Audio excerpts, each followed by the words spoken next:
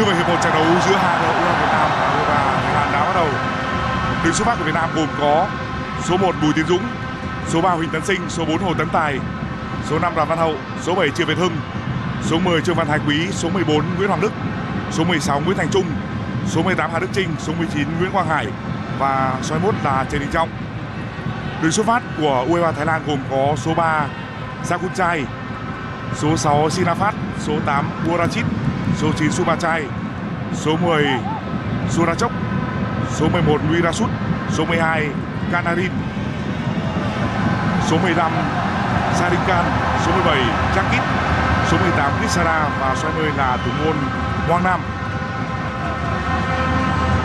Ở thành phần thi đấu của cả hai đội tuyển tại vòng loại của giải U23 châu Á năm 2020 đều còn có những nhân vật đã từng được có mặt ở vòng chung kết của giải đấu này vào đầu năm 2018 tại Trung Quốc. Bên phía đội tuyển U23 Việt Nam là Tiến Dũng, Văn Hậu, Quang Hải hay Trương Văn Thái Quý. Còn bên phía đội tuyển U23 Thái Lan trên sân lúc này chúng ta có thể nhận ra Nôn Muông Gam hay số 10 Subachok. Huấn luyện viên người Brazil Gama là người đã dẫn dắt U22 Thái Lan mới đây thi đấu tại Campuchia. Giải đấu mà Thái Lan về nhì sau Indonesia. Thái Lan, Việt Nam đều đã có thành phần rất khác ở vòng loại lần này so với giải U22 Đông Nam Á mới đây. Indonesia gần như giữ nguyên đội hình và họ đã chơi, có thể nói là không tốt. Indonesia dường như đã quá tự tin sau chức định U22 Đông Nam Á, trong khi đối phương đã thay đổi rất nhiều ở vòng chung kết của giải U23 châu Á năm 2018.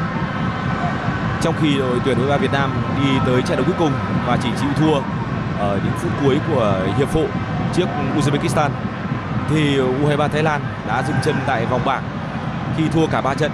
Ở bảng đấu có sự góp mặt của Nhật Bản, Palestine và Cộng hòa Dân chủ Nhân dân Triều Tiên.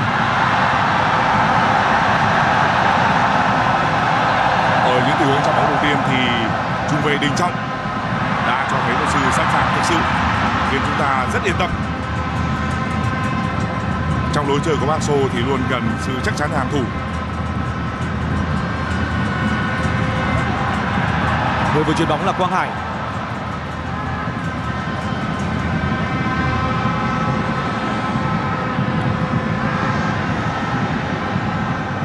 Khi mà Triệu Việt Hưng và Trương Văn Thái Quý cùng có mặt trên sân, chúng ta hiểu được rằng Quang Hải vẫn sẽ được ưu tiên cho tuyến trên nhưng có thể là nhiệm vụ của Quang Hải sẽ phải là cơ động hơn, hoạt động với tầm lớn hơn để có thể đem đến những ờ, pha bóng kết nối, hỗ trợ nhiều hơn cho các thủ tiền vệ trong việc ừ, giữ trái bóng và tổ chức lối chơi.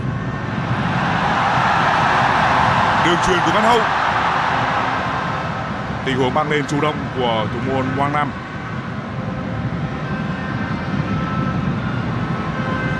Rất có thể là ngày hôm nay Việt Hưng và Thái Quý sẽ chơi tốt hơn rất nhiều so với khi gặp Indonesia. Indonesia thực ra là đội bóng có các tiền vệ chơi rắn, khiến cho Việt Hưng và Thái Quý bị chùn chân và khó khăn. Thái Lan chơi kỹ thuật và thiên về tấn công có thể sẽ rất khác.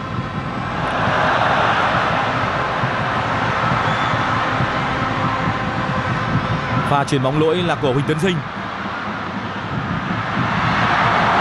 cú dứt điểm rất nguy hiểm và dứt điểm đáng chú ý đầu tiên trong trận đấu.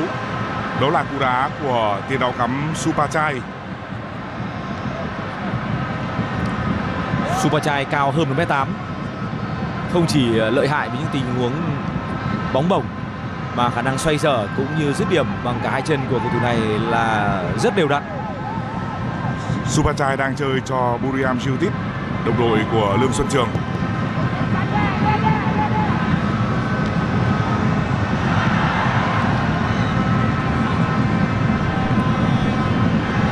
trận đấu đã khởi đầu rất sôi nổi. Cầu thủ Việt Nam cần phải hết sức bình tĩnh. Rất tiếc là đá việt vị trợ lý trọng tài cho rằng Hà Đức Trinh việt vị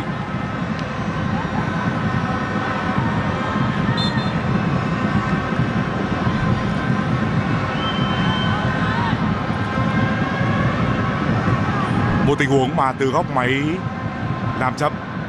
Theo chúng tôi, Hà Đức Trinh vẫn đứng trên hậu vệ cuối cùng của Thái Lan.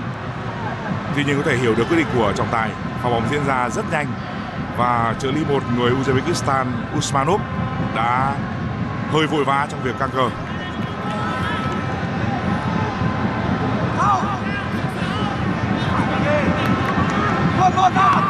quả phạt góc cho U23 Thái Lan. Người đá phạt góc là Surachok cầu thủ ngày hôm qua trong buổi tập đã bị đau, nhưng anh vẫn đá được ở trận đấu này.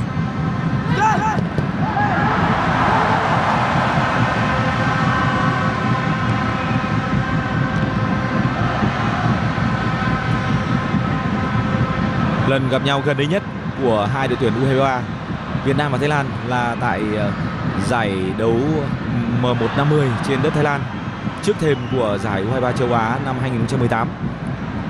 Đó là trận đấu tranh giải ba của hai đội và đội bóng của huấn luyện viên Park Hang-seo đã có được một chiến thắng với tỷ số 2-1.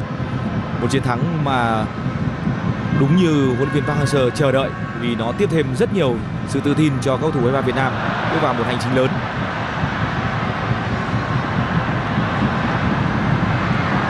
Thêm một lần nữa, cú dứt điểm là của Subachai Ở đội tuyển quốc gia Thái Lan, Supachai thường xuyên đá dạt sang bên trái. Vị trí ở giữa thuộc về Adisak. Ở đội tuyển quốc gia Thái Lan vào lúc này thì Adisak cũng như là Terasin Nangda vẫn là người trải nghiệm tốt hơn cũng như đá ở vị trí trung phong rõ nét hơn so với Supachai và đó là lý do khiến cho cầu thủ thuộc lứa U23 này vẫn phải lựa chọn cho mình một vị trí trong đội hình chính ở trách bên phía cánh trái.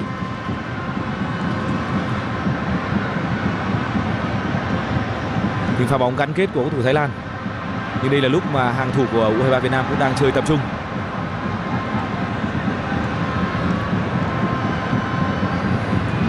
Thái Lan lúc này đã trở lại với phong cách của Kitisak đó là phong cách mà Kisak đã dẫn dắt các đội tuyển của Thái Lan giành được nhiều vinh quang Thái cũng đã trở lại với sơ đồ chiến thuật 343 thời Kitisak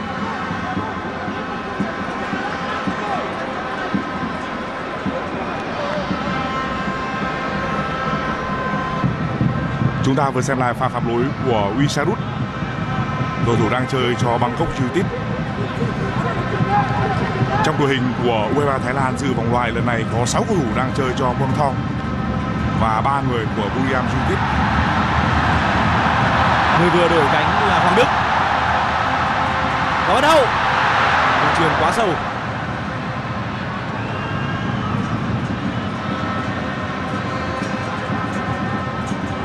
Theo cảm giác của chúng tôi thì năm nay U23 Việt Nam rất cần có sự sắc nhọn trên hàng công bởi vì các tiền vệ sẽ vất vả đối phó với Thái Lan.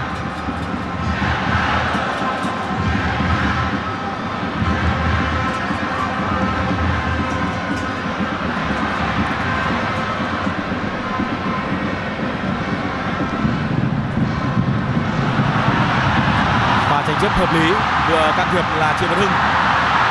Hà Đức Trinh đã có một lực khá hay, nhưng đáng tiếc là cú đá nối sau đó bằng chân phải của Đức Trinh lại không có được điểm tiếp xúc tốt nhất nhịp chơi nhanh là điều mà U23 Việt Nam đang có được, nhưng độ chuẩn xác trong tốc độ cao là điều mà chúng ta chưa thể đồng bộ Hà Đức Trinh là người ghi bàn thắng đầu tiên của Việt Nam tại vòng loại bảng K. Chúng ta cùng xem lần nữa pha xử lý đầy quyết tâm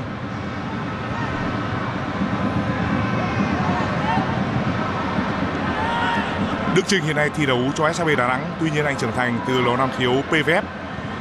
Trong thành phần của U23 Việt Nam dự vòng loại có đến 8 cầu thủ trưởng thành từ lò năng khiếu PVF.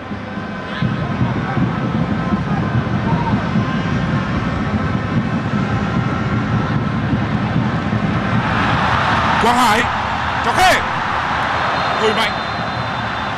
Nhưng đã có tình huống phạm lỗi của cầu thủ đối phương. Cầu thủ vừa phạm lỗi và phải nhận thẻ là canarin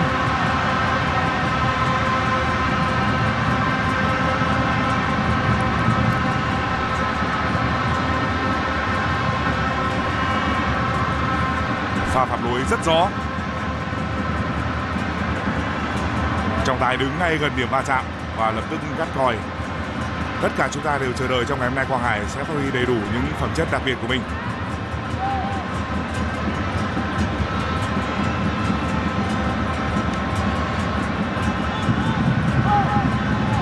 10 phút đầu tiên đã diễn ra với sự bình yên của hai khung thành. Nhưng thời gian giữ bóng cũng như khí thế đang thuộc về đội bóng Việt Nam. Việt Nam đã nhỉnh hơn về thời gian soát bóng và đá phạt có cự ly khoảng 35 mét người giữ bóng có thể sẽ là Huỳnh Tấn Sinh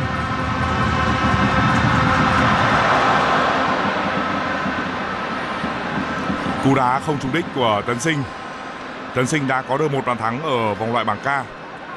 Pha ghi bàn vào lưới Brunei từ chấm phạt đền.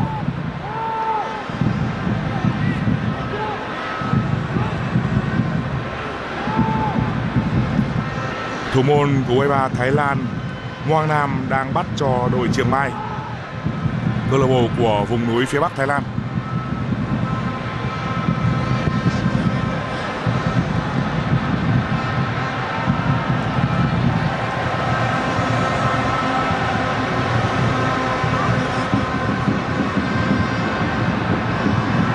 Đường truyền của Đinh Trọng. Pha chuyền bóng không chính xác.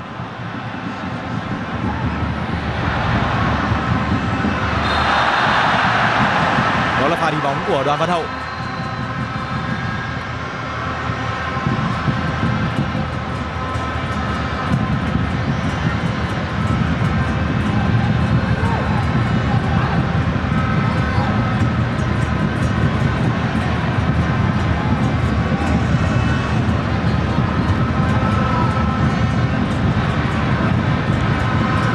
Đá phạt quá sâu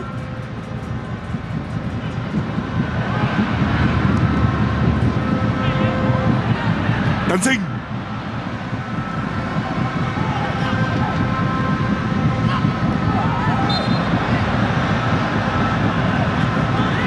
Vừa rồi là lỗi thứ tư của đội Thái Lan Các thủ Việt Nam chưa một lần phạm lỗi từ đầu trận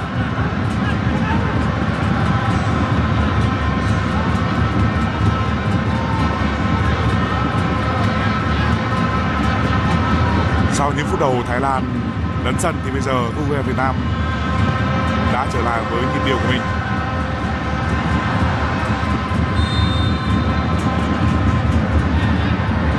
Tình huống phạm lỗi khi nhảy lên của Đoàn Văn Hậu.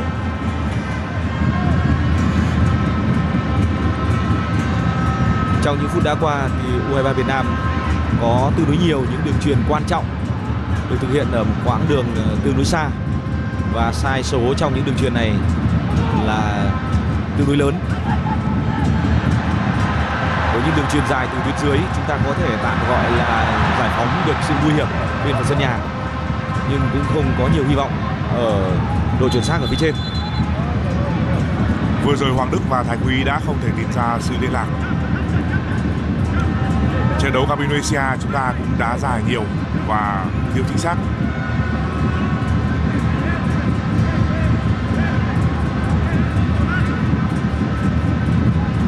có thể giải pháp đá dài chính là việc giải tỏa bớt áp lực cho bộ đôi tiền vệ trung tâm những người chưa đủ tự tin trong việc cầm bóng và thực hiện những tình huống tổ chức. Nhưng rõ ràng là chúng ta cũng cần phải có sự uyển chuyển trong ờ, cách tiếp cận này. Sẽ phải có bổ sung những ờ, pha bóng mà các tiền vệ, một trong hai người Triệu Việt Hưng hoặc Trương Văn Thái Quý sẽ phải tạo ra được những gạch nối hợp lý hơn và cự ly khoảng cách trong những tình huống ờ, di chuyển của đội bóng đỏ cần phải ở một mức độ ổn hơn thì tính kết nối mới có được sự đảm bảo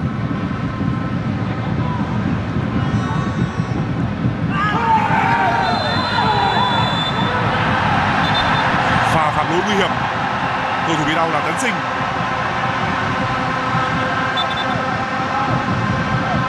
Ông Park Seo đã tỏ ra bức xúc sau lỗi của cầu thủ Thái Lan. Một pha lao thẳng vào Tấn Sinh hết sức nguy hiểm. Lỗi xứng đáng nhận thẻ của cầu thủ Thái Lan. đó là pha phạm lỗi của Surachok cầu thủ bị đau trong buổi tập ngày hôm qua tuy nhiên cuối cùng anh vẫn thi đấu chính thức ngày hôm nay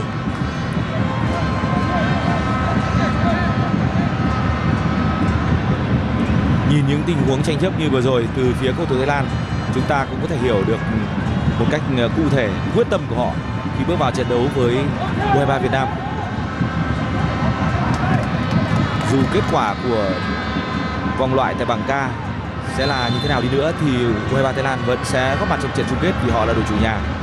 Nhưng đây là lúc mà họ có quyền được ừ, tạo ra ảnh hưởng với một trong những đội bóng được ừ, đánh giá cao, được chờ đợi ở vòng chung kết là U23 Việt Nam.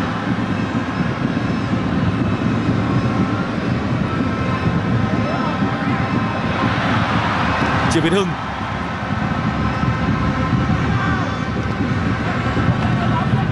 Cao thủ giữa sân của Việt Nam cố gắng bọc lót cho nhau, đá gần nhau và đến lúc này chúng ta cũng không hề bị lép vế trước các tiền vệ Thái Lan. Thậm chí là còn có sự kết dính tốt hơn. Đinh Trọng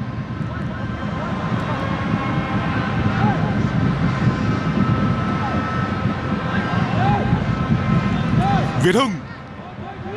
Rất hợp lý, đoàn văn hậu.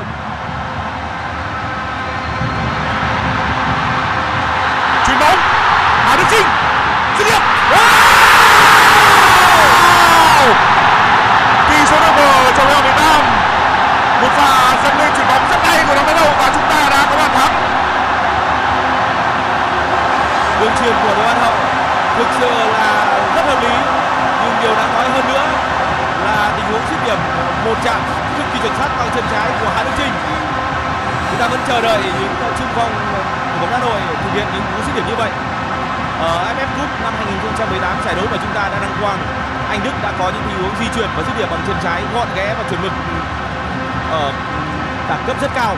Và với tình huống vừa rồi thì chúng ta có thể hiểu được rằng Hà Đức Trinh cũng muốn nối tiếp những người đàn anh để thực hiện những pha bóng rất tiêu chuẩn. Xin chúc mừng Hà Đức Trinh, cầu thủ luôn chơi nhiệt tình, tuy nhiên đôi lúc vẫn bị cấn cá trong tâm lý dứt điểm. Pha ghi bàn thứ hai của Đức Trinh ở giải đấu lần này bàn thắng rất quan trọng. Cú đá vào giữa hai chân của thủ môn Quang Nam. Pha chơi bóng có thể nói là xuất sắc của U23 e Việt Nam, không chỉ ở đường truyền của Đoàn Văn Hậu, cú dứt điểm của Hà Đức Trinh. Tôi muốn nói đến những tình huống di chuyển không bóng của Quang Hải và cả Hoàng Đức nữa. Tất nhiên là khi mà đội U23 e Việt Nam có bóng, thì nhân vật mà các cầu thủ Thái Lan quan tâm nhiều nhất chắc chắn sẽ phải là Quang Hải. Và tình huống di chuyển chéo sân của Quang Hải à, đã hút theo sự chú ý của tương đối nhiều cầu thủ Thái Lan. Đoàn Văn Hậu chơi thông minh với tình huống bó vào trong và bất ngờ tạo ra một cú xẻ nách bằng à, má ngoài chân trái. Rất hoàn hảo. Như chúng tôi đã phân tích thì sự tỏa sáng của các tuyển thủ rất quan trọng trong trận đấu ngày hôm nay chúng ta đều mong chờ từ Bùi Tiến Dũng đến Đình Trọng, Đoàn Văn Hậu, Quang Hải, Đức Trinh đều sẽ có một ngày thi đấu xuất sắc.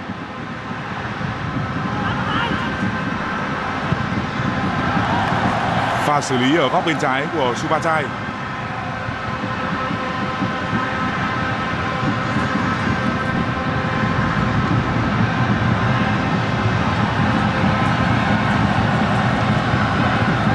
gì mà chúng ta đã thấy ở những trận đấu đã qua của U23 Việt Nam? Phần lớn là những tình huống tấn công ở hai biên, đặc biệt là biên trái.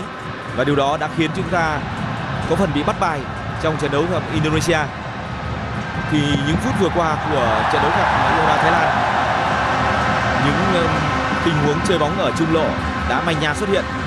Nhưng phải nói rằng đến tình huống xử lý vừa rồi của Đoàn Văn Hậu thì mọi chuyện mới được bộc lộ một cách rõ rệt nhất. Đó thực sự là một cú đấm thượng thặng. Trung vệ tấn sinh đang bị đau.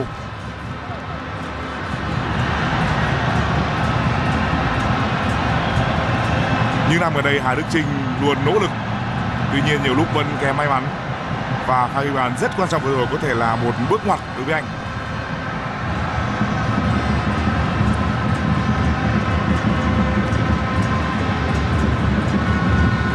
Phút thứ 20 hiệp 1 của trận đấu, Cầu thủ Việt Nam đang dẫn với tỷ số 1-0 Phá vượt tuyệt vời giữa Văn Hậu và Đức Trinh. Cho đến trước thềm của vòng loại giải U23 châu Á năm 2020 ông Park Hang-seo đã có những lời than phiền về việc những tiền đạo nội của chúng ta thiếu đất diễn ở giải vô địch quốc gia. Đó là điều không có gì mới. Bóng đá Việt Nam trong cả hơn chục năm qua đã bị ảnh hưởng bởi rất nhiều những yếu tố ngoại, đặc biệt là các vị trí quan trọng như vị trí tiền đạo mũi nhọn. Tất nhiên là các đội bóng nội, các huấn luyện viên của các câu lạc bộ ở V-League cần phải ưu tiên những gì tối ưu nhất cho sức mạnh của họ.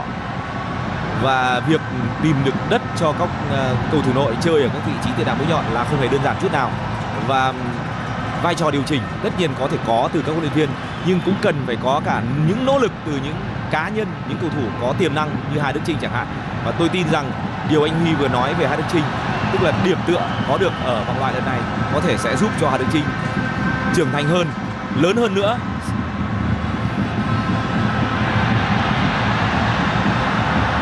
Giờ là lúc mà có thể Thái Lan sẽ đẩy cao đội hình.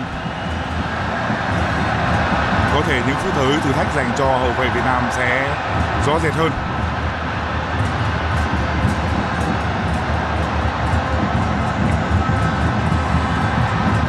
Đài truyền hình cước số VC trực thuộc VOV là truyền hình nước chủ nhà của vòng loại bảng K giải U23 châu Á năm 2020 lúc này thì các hộ gia đình có TV công nghệ 4K đều có thể theo dõi trận đấu bằng công nghệ siêu nét 4K. Hoàng Đức. Thẻ vàng dành cho Đoàn Văn Hậu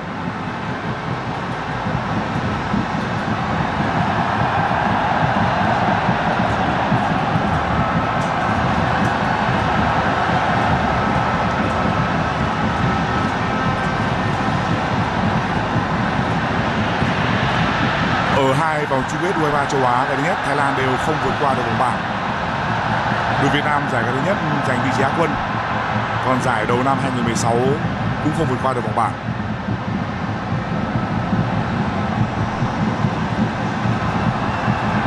Từ khi bóng đá nam ASEAN dành cho lứa tuổi U23 thì Thái Lan đã hai lần lọt vào bán kết.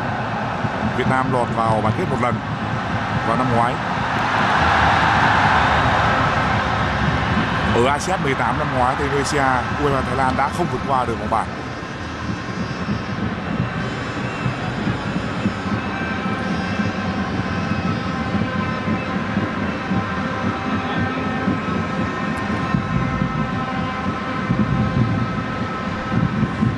Như chúng tôi đã phân tích thì bóng đá trẻ luôn có những trồi sụt. Một đội Thái Lan có thể chơi mạnh mẽ khi gặp Malaysia và Brunei, nhưng khi gặp phải một đối thủ không theo kiểu kẻ tung người hứng thì họ lại khó chơi. Tất nhiên thời gian vẫn còn rất nhiều nhiên lúc này thế trận đội Việt Nam khiến chúng ta thấy yên tâm.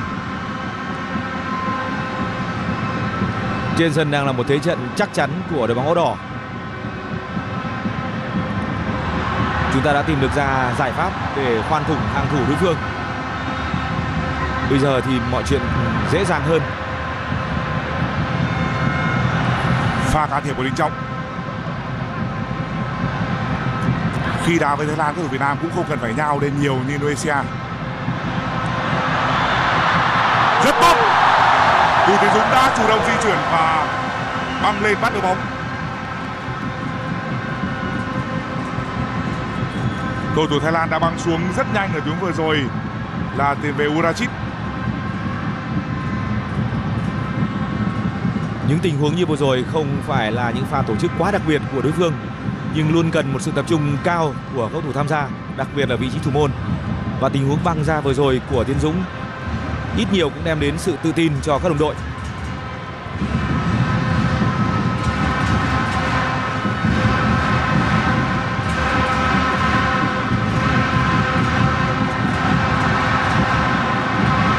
Quang Hải Đoàn Văn Hậu à, Đức Trinh chuyển bóng không kịp đi sút bóng chân dài rất tiếc là hoàng đức không dứt điểm. Hoàng đức thuận chân trái mà có thể bung ngay một cú đá ở góc hơi hẹp. Có vẻ như trong tiếng vừa rồi thì cầu thủ trẻ của câu lạc bộ Viettel hơi có phần chần chừ vì cho rằng mình đã ở vào thứ vị và thiếu đi sự quyết đoán để bứt phá và chiếm lĩnh một vị trí thuận lợi hơn.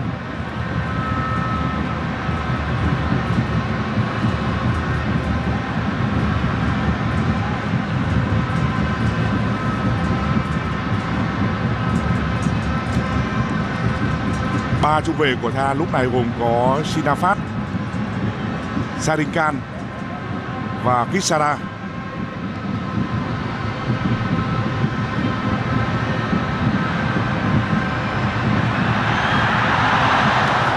Pha bóng lăn xả của Văn Hậu.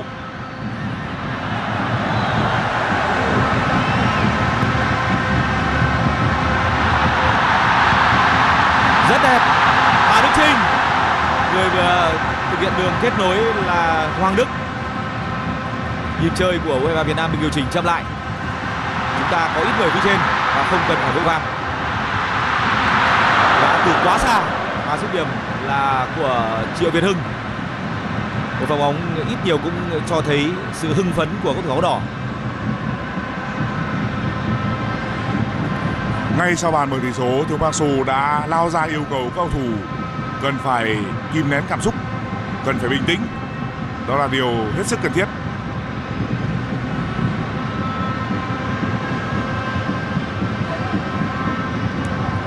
Trong ba hậu vệ của Thái Lan thì đội trưởng Sinafat luôn thi đấu ở giữa. ở bên phân sân nhà của U23 Việt Nam vào lúc này thì Đình Trọng đang thường xuyên có những tình huống di chuyển để đeo bám mũi nhọn quan trọng của U23 Thái Lan là Supachai và xu hướng chơi bóng của Đình Trọng luôn là di chuyển sớm hơn các cầu thủ đối phương, đọc được sớm hơn ý định chơi bóng của cầu thủ U23 Thái Lan và ngăn chặn sớm. Đây là một kỹ năng mà không phải ai cũng có được. Từ khi chưa đầy 20 tuổi và chơi cho đội bóng Sài Gòn, thì Đình Trọng đã được coi là chuyên gia săn tây. Thể hình không phải quá cao lớn nhưng đọc tình huống rất tốt, băng cắt nhanh. Đây là Supachok Pha theo sát là của Huỳnh Tấn Sinh. Bóng ở bên ngoài sân trước khi Supachok thực hiện đường truyền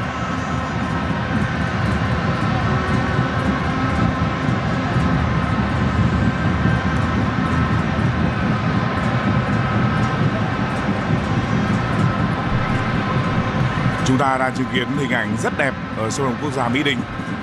Ánh sáng của smartphone. Một khung cảnh lung linh ở thời điểm mà UEL Việt Nam đang dẫn 1-0 có một thế trận chắc chắn. Ba tuyến chơi hợp lý.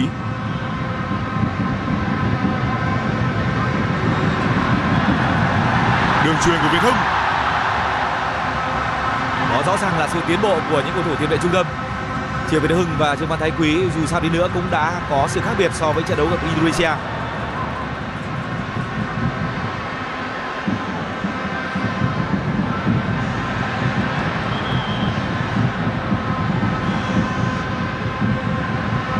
Thái Lan không thể lên bóng nhanh.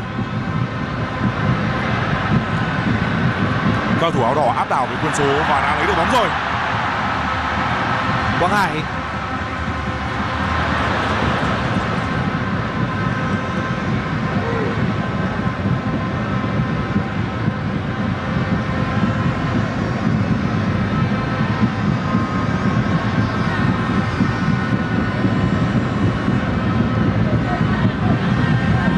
Sinafat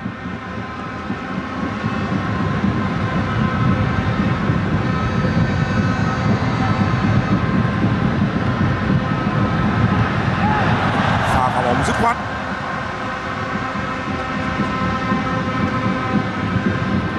Cầu thủ Việt Nam đang đá thấp.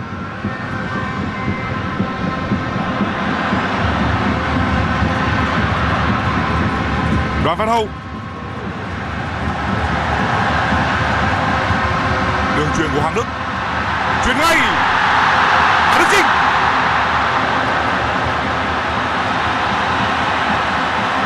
trung vệ Sinafat đã ngắt được đường lên bóng vừa rồi của Hà Đức Trinh tốc độ triển khai, tốc độ chuyển trạng thái của U23 Việt Nam đang ở mức độ hợp lý. Ở chiều ngược lại, đã có dấu hiệu của sự bế tắc. Từ phía U23 Thái Lan, họ buộc phải đá dài. Họ thiếu đi sự gắn kết của tiền vệ đây là một điểm luôn khiến cho thế trận của đội bóng không thể được ờ, gây dựng. Và với bóng đá Thái Lan một nền bóng đá luôn đánh giá cao bởi các tiền vệ có thể nói là ăn chịu có sự dẻo dai và có sự khôn khéo. Khi không phát huy được những phẩm chất của các cầu thủ trên sân rõ ràng họ có vấn đề. Đâu? Tình huống bật lên của Hoàng Đức đây là thế trận mà nếu khai thác hợp lý của Việt Nam rất dễ có thêm bàn thắng. Đúng là nhịp chơi ờ, rất lý tưởng. Tốc độ đưa bóng vào là hợp lý và phía trong như chúng ta vừa thấy có tới ba kéo đỏ. Người bật cao nhất là Hoàng Đức còn bên cạnh còn có hai Đức Trinh và Quang Hải. Hoàng Đức đã chủ động bật lên chiếm lĩnh khoảng trống và đè cầu thủ trung vệ Sadin Khan không phải là Quang Hải chơi gần Hoàng Đức ở tính vừa rồi mà là Trương Văn Thái Quý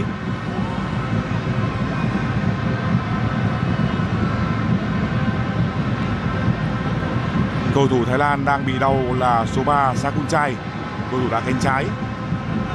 Sakunchai là cầu thủ của Muang Thong, đồng đội của thủ môn Đặng Văn Lâm.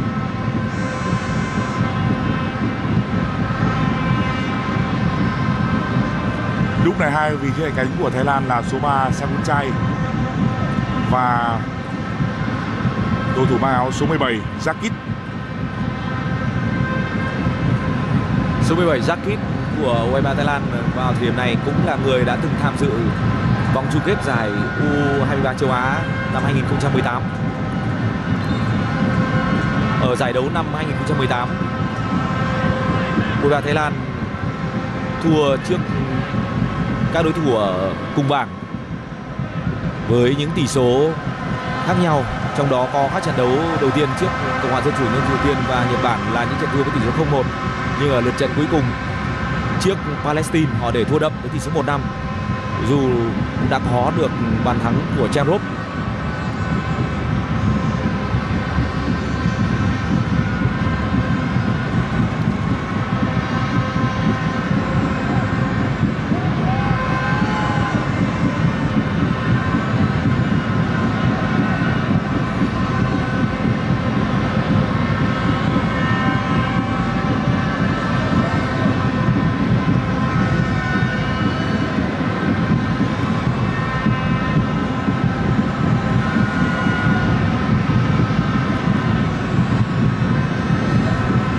xuất phát của U23 Việt Nam ngày hôm nay có đến 8 cầu thủ đã từng dự giải U20 thế giới. Có thể nói việc từng đến Hàn Quốc để dự World Cup U20 là một hành trang rất quan trọng với dàn cầu thủ trẻ của Park Hang So. Có thể có những người không được đá chính nhiều ở câu lạc bộ, tuy nhiên họ vẫn còn đó hào khí của cao thủ từng dự World Cup và từ đến cuối năm khi dự SEA Games sẽ còn tiến bộ rất nhiều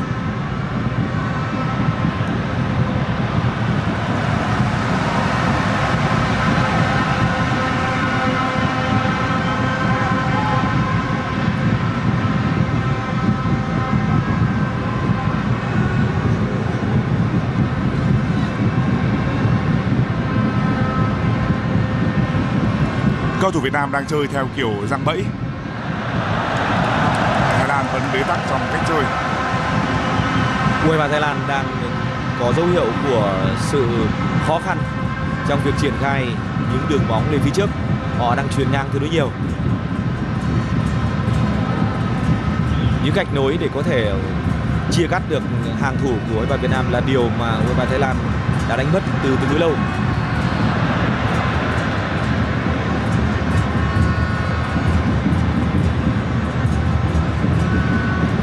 Cao thủ của ông Quang Sô đang chơi theo một cách chơi rất quen thuộc khi gặp những đội bóng mạnh của châu Á. Chỉ có điều là bây giờ chúng ta đã có bàn dẫn trước và lại càng tự tin hơn.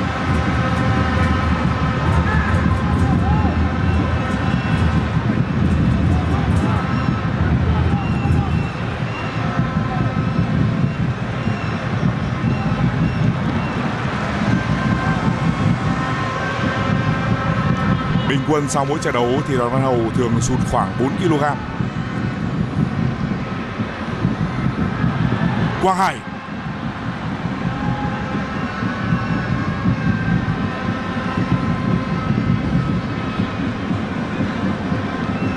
Sarikan trung vệ đá lệch bên trái của Thái Lan. Sakuchai. Đoàn Văn Hậu áp sát.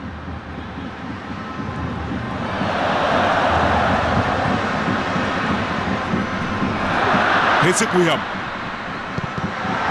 Rất may là bóng đã được phá lên. Đường chuyền vào không có gì đặc biệt của Subachai và Đình Trọng đã kịp giải nguy. Tiếp tục là pha cản phá của Đình Trọng.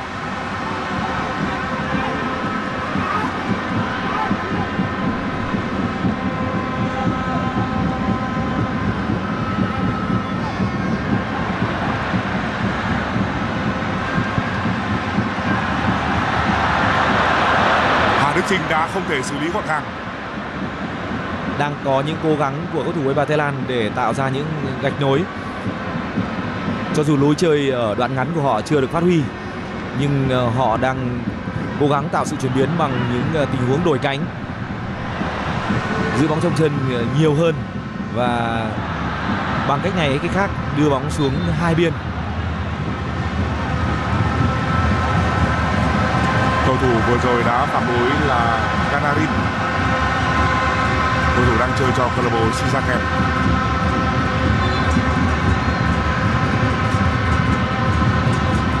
ở những trận đấu đã qua trước ừ, Indonesia và Brunei, những biến tấn công quan trọng của U23 Thái Lan thường được tập trung ở ngoài biên. Cho dù là những quả treo bóng do tầm cao của những cầu thủ như Subachai phía trong hay là những đường phối hợp trồng góc một đường xé nách để xuyên phá à, khu trung lộ của đối phương. Nhưng đó là khi mà họ có thể đưa được bóng với các tiền vệ xuống à, tương đối gần với khu 16 m 50 của đối thủ. Còn kể từ khoảng phút thứ 10 của trận đấu cho đến này lối chơi đó của U23 Thái Lan gần như không thể thực hiện. Chúng ta vừa xem lại pha phạm lỗi của cầu thủ Thái Lan với Thái Quý pha phạm lỗi của cầu thủ đá cánh trái Sakuchai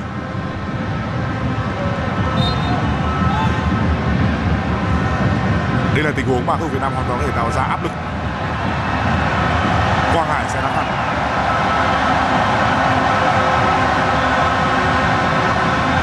U23 Việt Nam có những cầu thủ rất cao. Trong một thế trận mà chúng ta đang tự tin, có thể tạo ra những tình huống sóng gió trên không. Quang Hải Triệu Việt Hưng.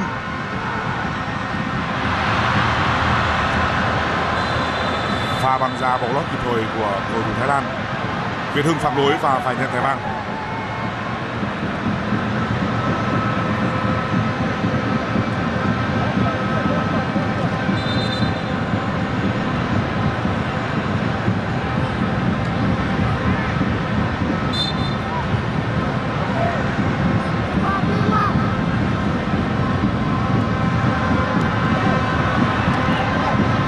Triệu Việt Hưng là cầu thủ đã chơi lan xả trong cả ba trận đấu của U23 Nam đến lúc này.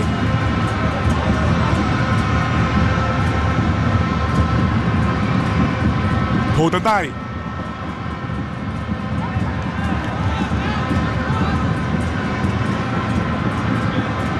Thời gian đang trôi dần về những ờ, phút cuối của hiệp thi đấu thứ nhất. U23 Việt Nam vẫn đang duy trì được một thế trận ổn định.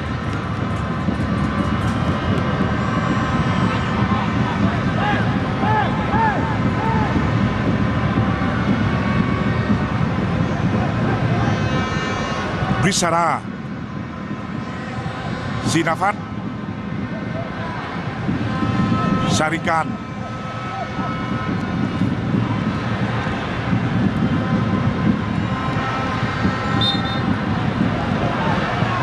Đến lúc này trọng tài Uzbekistan Serot Kasimov đã rút ra 3 thẻ vàng. Trong đó có 2 thẻ vàng thuộc về U23 Việt Nam.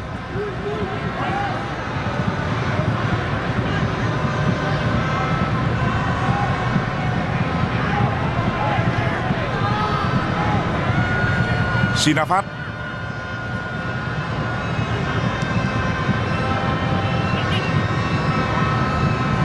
Chúng ta vẫn cần phải cảnh giác với những pha phối hợp biên của Thái Lan.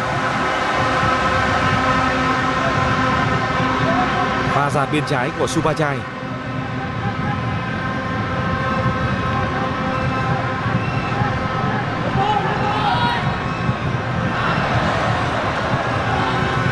Hiện nay giữa các đội tuyển của Thái Lan và các câu lạc bộ ở Thái League lối chơi tương đối thống nhất. Họ thường mạnh ở những pha phối hợp biên và linh hoạt trong việc chuyển bóng vào trung lộ để dứt điểm.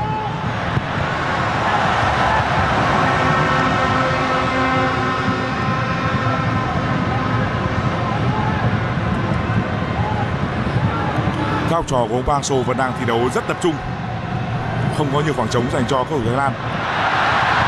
Quang Hải Thái Quý. Hồ Tấn Tài.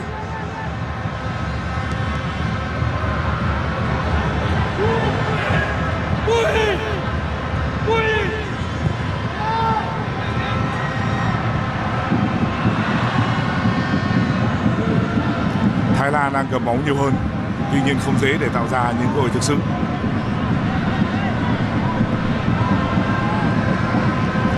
Với cách chơi này thì U23 Việt Nam cũng ít tốn sức. Chúng ta cần phải rất lưu ý mật độ hai ngày một trận Và còn cả hiệp 2 trước mặt.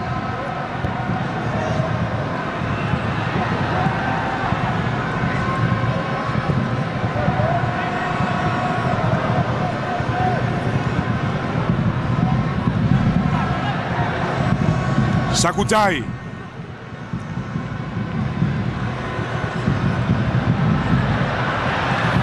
Bọc lót kịp thời. Hoàng Đức. Đoàn Văn Hậu. Hà Đức Trinh.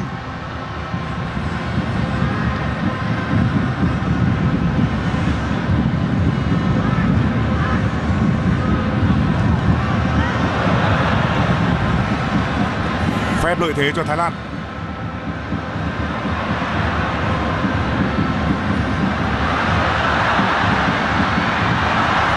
Này. Đến lượt Việt Nam ở các lợi thế chuyền đanh. Hà Đức Trinh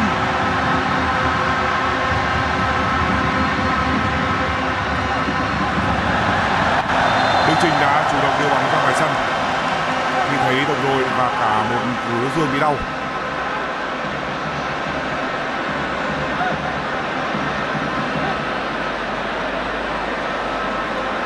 cầu thủ Thái Lan bị đau là Sakunchai một trong những vị trí của Thái Lan đã chơi tốt nhất đến lúc này.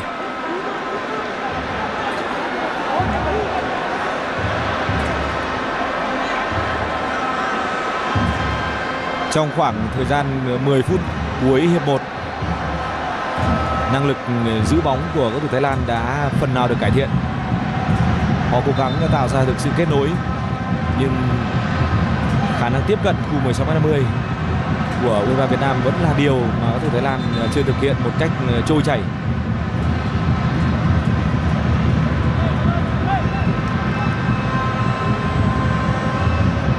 chúng ta xem một lần nữa pha va chạm giữa Hồ Tấn Tài và cầu thủ đá cánh trái Sang Chay.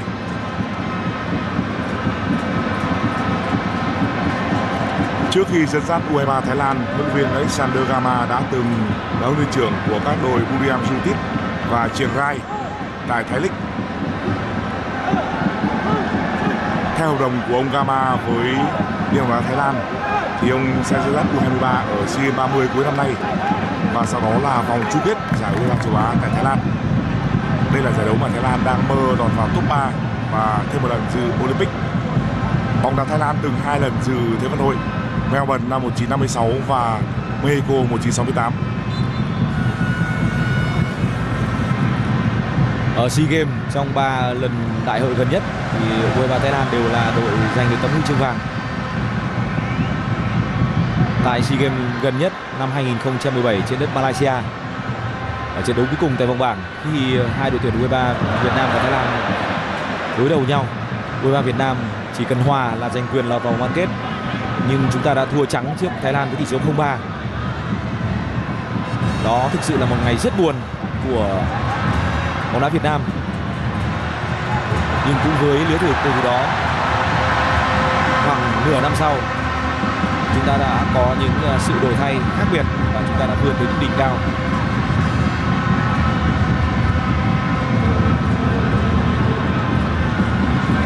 Rất nhiều khả năng hiệp một sẽ khép lại với tỷ số 1-0 về đội Việt Nam. Hồ Tấn Tài. vẫn còn, bóng vẫn trong sân tuy nhiên hồ tấn tài đã không có nhiều đà để thực hiện và tạt vào trong. Hiệp 1 có 2 phút bù giờ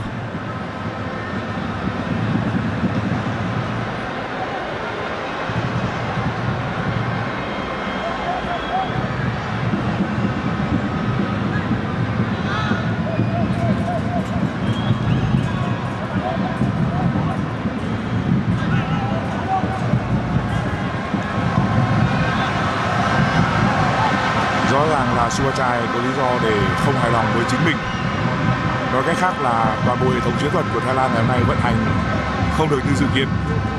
Suachai thường xuyên đơn độc và cũng đã gặp phải những cầu thủ to cao không kém, áp sát và chơi rất tỉnh táo. Đoàn Văn Hậu, Quang Hải.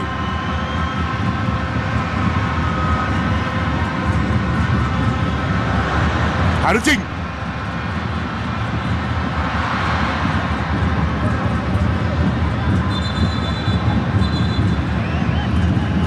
Hà Đức Trinh đang bị đau.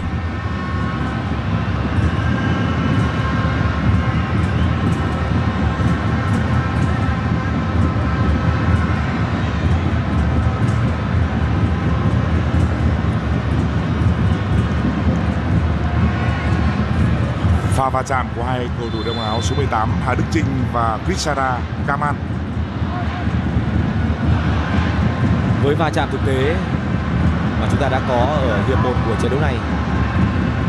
Lứa trẻ của bóng đá Việt Nam đang đối đầu với lứa trẻ của một nền bóng đá luôn được coi là mạnh nhất của khu vực Đông Nam Á. Và không chỉ kể đến kết quả mà còn nhìn về mặt thế trận, cái cách mà chúng ta xử lý các tình huống, tiếp cận trận đấu. Rõ ràng chúng ta hoàn toàn có quyền tự tin, chúng ta có thể chơi một cách à, song phẳng. Đối phương không phải là một đội bóng mạnh đến mức chúng ta không thể chi phối và tìm ra được những kẽ hở. Đối phương không phải là một đối thủ mà chúng ta không thể kiểm soát được.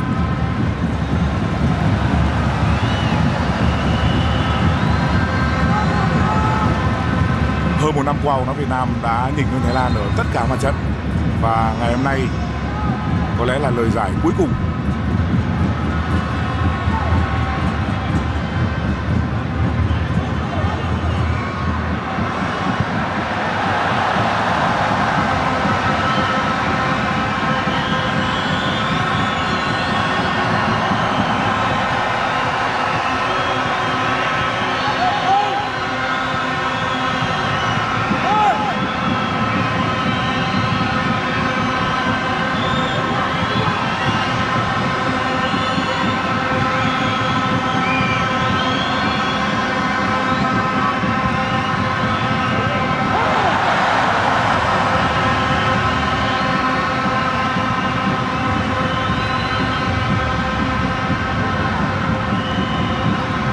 Hoàng Đức Như vậy là hiệp 1 của trận đấu giữa hai đội tuyển U23 Việt Nam và U23 Thái Lan đã khép lại. Vào đầu hiệp 2 thì đội Thái Lan có một sự thay đổi người. Cầu thủ mới được đưa vào sân bên phía đội U23 Thái Lan là số 7 Anon. Hiệp hai của trận đấu vừa đã bắt đầu. Anon subachai trung phong subachai gần như bị cô lập trong những phút thi đấu ở hiệp thứ nhất đã khá nhiều lần tiền đạo cao lớn của U23 Thái Lan phải à, ra cánh trái như cách mà anh vẫn chơi ở đội tuyển quốc gia nhưng điều đó cũng không làm thay đổi được gì nhiều cho cách triển khai của đội U23 Thái Lan Cầu thủ mới vào sân bên phía Thái Lan Anon số 7 là người đã có được một bàn thắng ở vòng loại bảng K. Anon là cầu thủ của Bangkok United, đội bóng đang thi đấu tại Thái League.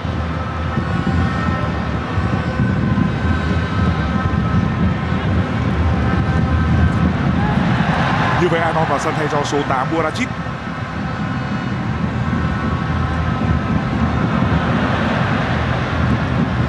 Số 8 Buracic là một ờ, nhân vật quan trọng trong ý đồ chơi của người Thái Lan. Việc ông Gama thay ờ, Buracic đủ thấy việc Thái Lan chơi trong một loại tác phẩm giữa của Thái Lan gần như bị vô hiệu hóa.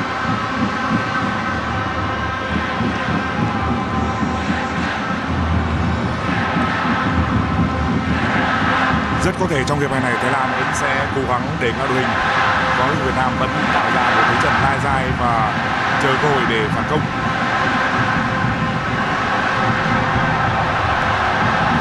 Đoàn Văn Hậu. Văn Hậu là người đã có pha chuyền bóng rất hay để Hà Đức Trinh mở tỷ số.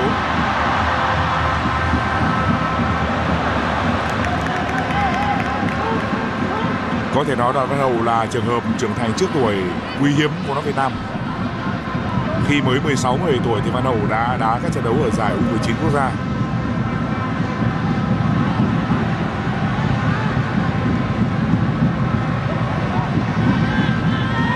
ở vòng loại của giải U23 châu Á lần này, Văn Hậu là một trong những cầu thủ dày dặn kinh nghiệm nhất ảnh hưởng của số 5 chơi bên góc trái của U23 Việt Nam ở trận đấu mà chúng ta đang theo dõi là rất rõ tương đối về cách ứng xử trong ờ, các tình huống. Nếu như ở AFF Cup năm 2018 thì chúng ta vẫn còn thấy đâu đó những tình huống mà Văn Hậu bị cuốn vào những tình huống khiêu khích của đối phương. Thì ờ, ở giải đấu này mọi chuyện đã khác đi rất nhiều. Tuy nhiên đoàn văn hậu vẫn cần phải có sự rút kinh nghiệm để trưởng thành về kinh nghiệm, xử lý những động tác ờ, tranh chấp đôi khi vẫn còn hơi thừa.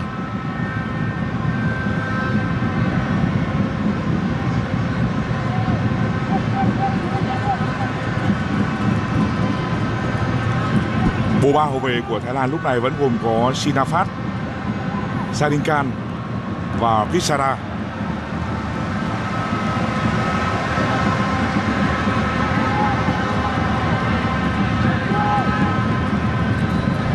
Mọi việc vẫn đang diễn ra thuận lợi với các thủ Việt Nam.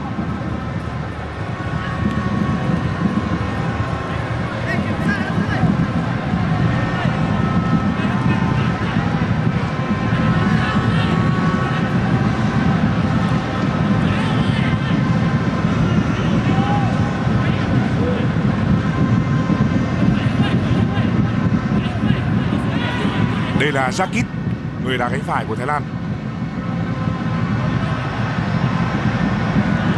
Đoàn Văn Hầu che người.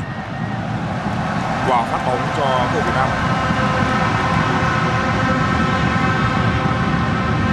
Trên mảnh là cầu thủ số 7 vào sân thay người Anon. Tên đầy đủ của anh là Anon Amolesak.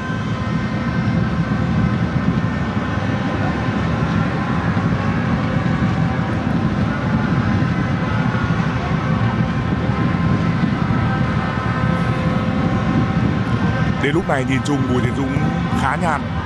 Tuy nhiên anh Dũng đã có những tình huống chứng tỏ khả năng của mình.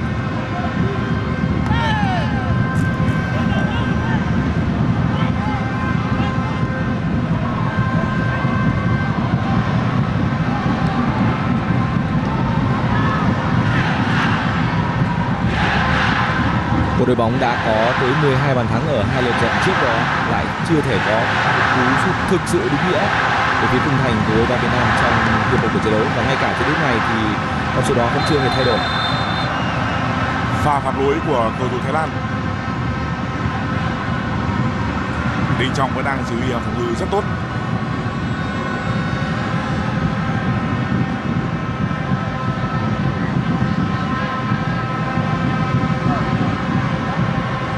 Supachok là người đã phạm lỗi với Đình Trọng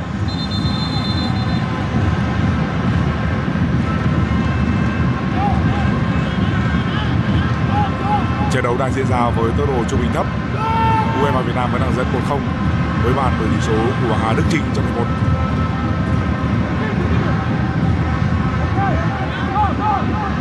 Jakit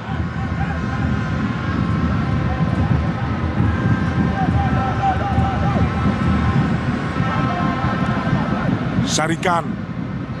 Sarikan trượt chân.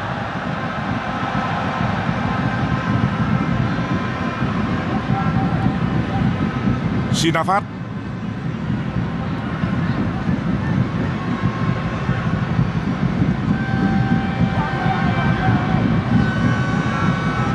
Đây là trận đấu mà Thái Lan do đã chắc chắn có mặt ở vòng chung kết của tư chủ nhà. Họ vào trận với tâm lý thoải mái. Tuy nhiên, quyết tâm và khao khát thì rõ ràng là không được Việt Nam.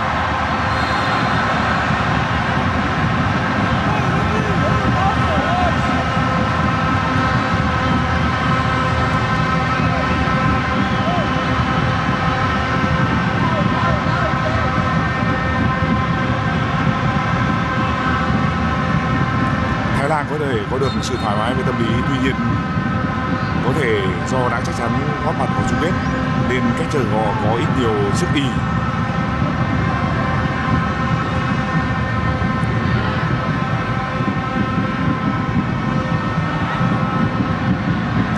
Quang Hải. Vẫn là Quang Hải đột phá. Chuyển ngược lên chân chạy đó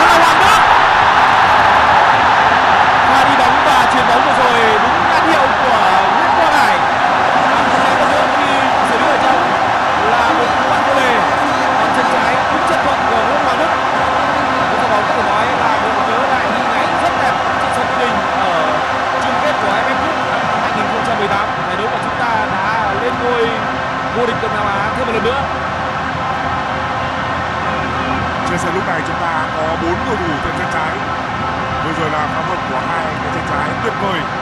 Quang hải và hoàng đức. Những người đều đã từng dự giải U20 thế giới. Với Quang Hải là một nhân tố đá vốn dĩ rất đặc biệt. Chúng ta đã biết quá nhiều về anh và luôn chờ anh bùng nổ như vậy. Còn với Hoàng Đức thì thực sự đó là tương lai.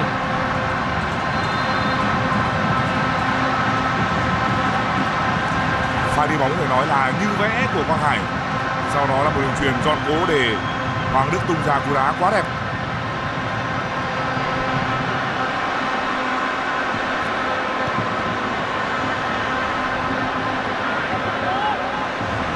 Đoàn văn hậu.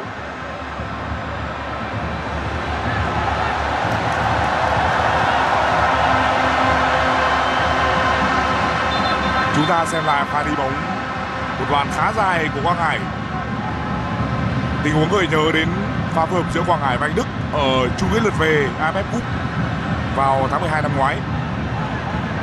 Cũng là một động tác xoay người lườn quá dẻo và cũng là một pha đá nối bằng chân trái, giống như anh Đức.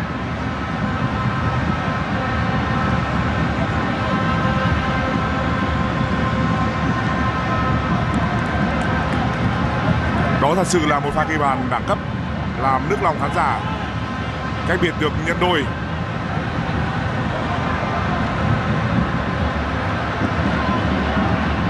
Cầu thủ trưởng thành từ câu đầu Viettel đã có bàn thắng đầu tiên ở vòng loại bảng K.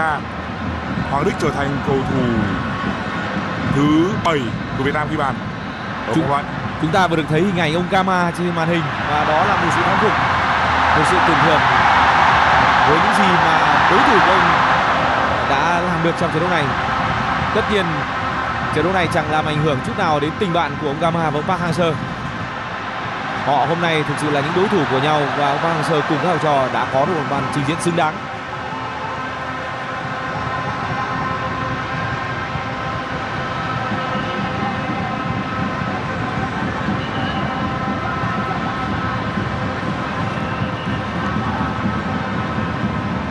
Jakit đến trận đấu này thì những vị trí đáng chú ý nhất của U Việt Nam đã phát huy được những điều đặc biệt của mình.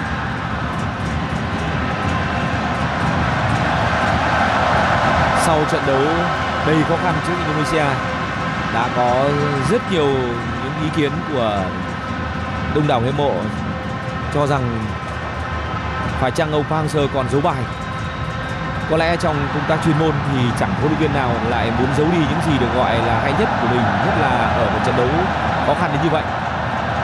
Nhưng khi bước vào trận đấu gặp U23 Thái Lan với rất nhiều những phương án khác nhau, những phương án mà gần như chúng ta chưa được nhìn thấy ở những trận đấu đã qua của U23 Việt Nam ở vòng loại lần này, thì một lần nữa thương hiệu của huấn luyện viên Park Hang-seo lại được khẳng định. Ông luôn luôn có những sự điều chỉnh một cách ờ, hợp lý trong tâm lý thi đấu của các cầu thủ và chắc chắn là cả yếu tố chuyên môn nữa. Ý đồ chơi, phương án chơi, đấu pháp chơi, rõ ràng ở trong từng trận đấu của Park Hang-seo luôn là rất mới lạ. Cả chuỗi những gì đã có trong năm 2018 cho đến lúc này vẫn tiếp tục một lần nữa được phát huy. Một tình huống ngẫu nhiên, tấn sinh lùi về va vào đối phương.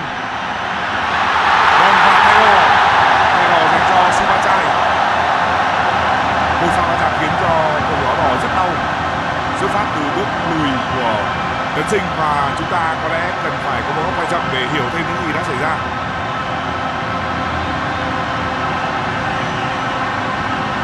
Khó khăn trồng chất với cầu thủ Thái Lan.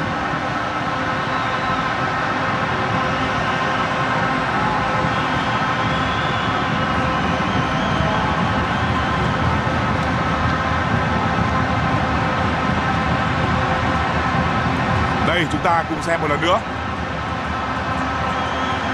đúng là tấn sinh có những bước lùi làm cho Subachai lỡ đà. Nhưng anh chàng này cũng đã ức chế từ hiệp 1 rồi. Và có một động tác như là vùng nằm đấm vào cầu thủ Việt Nam. Vị trí pha chạm đứng rất gần sự quan sát của trọng tài người Uzbekistan Serov Kasimov.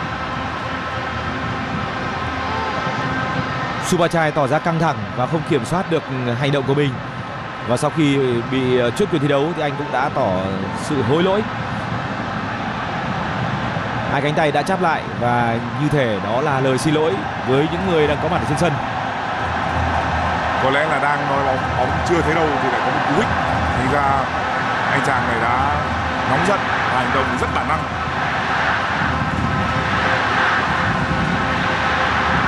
Mọi chuyện đang trở nên rất thuận lợi với thủ Việt Nam.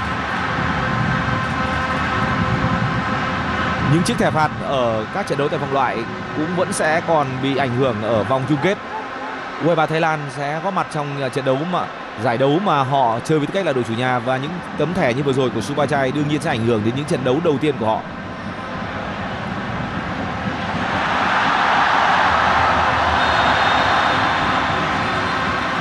thêm một pha phạm lỗi. Ông Bang So và trợ lý Liang Jin đã theo dõi rất kỹ toàn bộ trận đấu trước của Thái Lan. Trận đấu mà người Thái đã vượt qua Brunei 8-0 cao thủ kể lại rằng những ngày gần đây thì phòng của ông Bang Sô tại một khách sạn ở khu vực Mỹ Đình cũng đèn bật sáng, có thể nói rất muộn cho đến dạng sáng. Có lẽ là ông cùng với những trợ lý của mình đang xoay vần để tìm kiếm những chiến thuật hợp lý. Chúng ta vẫn gọi Baso là phù thủy, tuy nhiên đó chỉ là cách nói vui thôi. Đằng sau đó là một sự lao động rất nghiêm túc, luôn luôn đào bới mọi việc để tìm kiếm những phương án tốt nhất.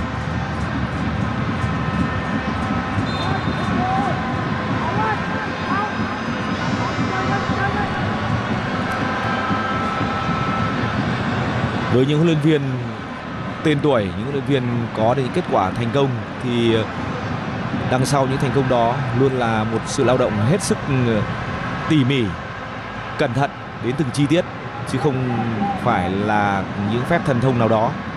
Và với huấn luyện viên Park Hang-seo ở bóng đá Việt Nam trong hơn một năm qua, điều này là cực kỳ chính xác. Đây là một pha bóng vào trong của Văn Hậu cho khe. Lần này bóng trúng chân trọng tài. Đoàn Văn Hậu. Pha dứt điểm của Hồ Tấn Tài.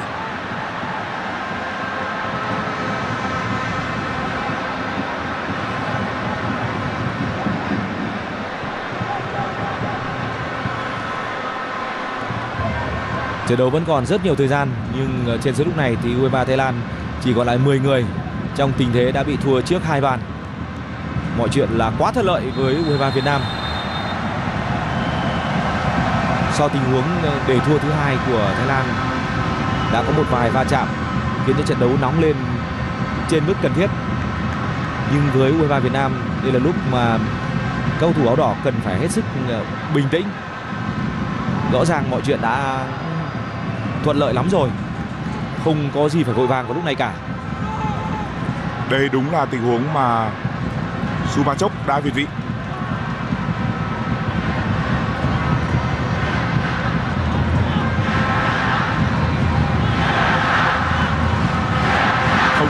Không trai thì Subachok và Kanarin sẽ là những người đá cao nhất trên hàng công của Thái Lan.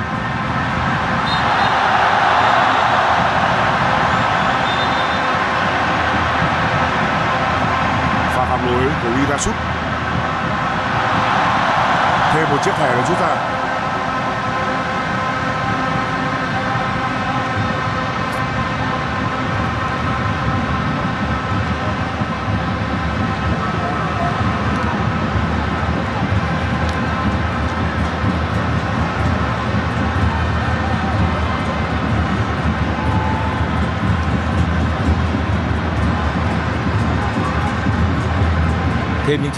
Chỉ ra rằng trận đấu đang diễn ra trong một tình thế tồi tệ cho đội tuyển U23 Thái Lan.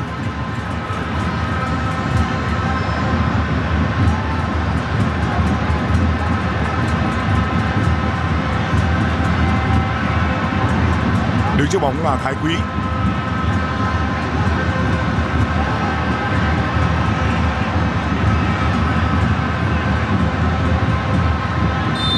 Quang Hải đang đứng ở một vị trí thuận lợi từ tuyến 2 nhưng Thái Quy vẫn thực hiện đường truyền vào trong. Dứt điểm! ba không rồi. Vâng phút thứ 63 và đã là ba không cho đội Việt Nam. Không loại trừ khả năng đây sẽ là chiến thắng lớn nhất của đội Việt Nam trước Thái Lan nhiều năm qua ở các cấp đội tuyển bàn thắng thứ hai của Thành Trung ở vòng loại lần này. Đó cũng là một ờ, tình huống dứt điểm của Cunningham và thậm chí bàn thắng vừa rồi còn dễ dàng hơn rất nhiều. Những gì mà chúng đã có trong trận đấu gặp Brunei Tùng à nếu mà tôi không nhầm thì chiến thắng đậm nhất của Việt Nam trước Thái Lan nhiều năm qua là chiến thắng 3 0 ở trận đấy năm 98 phút tay ngờ 98 Vâng, đó là trận bán kết vào ngày mùng 1 tháng 9 thì phải. Tôi vẫn nhớ là như vậy.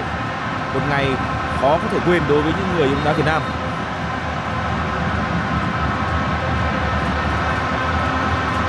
Thành Trung đã có đủ thời gian để ngắm nghía và dứt điểm vào một vị trí mà thủ môn không thể bắt nổi.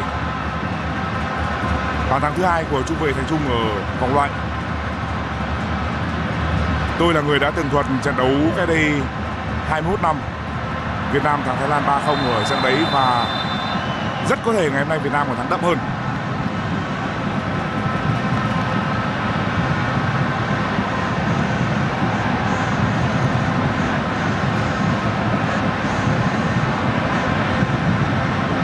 Pha ghi bàn đầu tiên của Thành Trung ở vòng loại bảng K là bàn thắng vào lưới Brunei.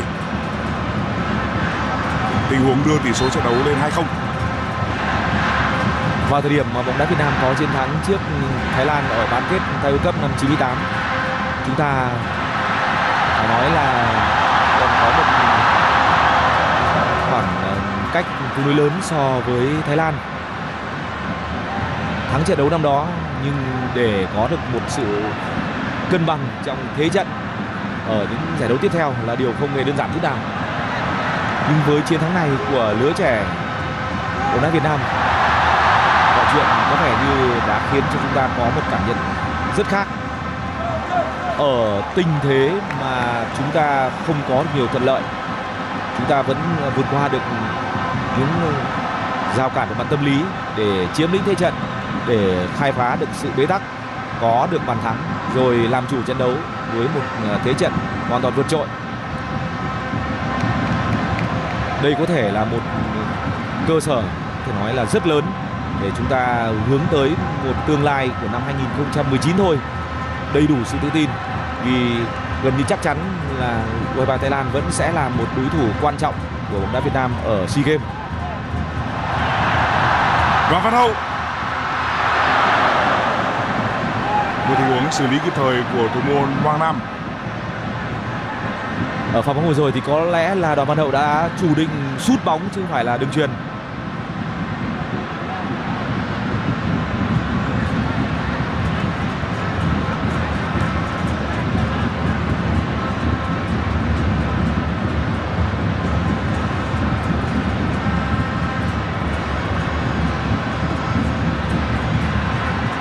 cầu thủ Việt Nam đã có 9 lần sút cầu môn so với hai lần dứt điểm của Thái Lan.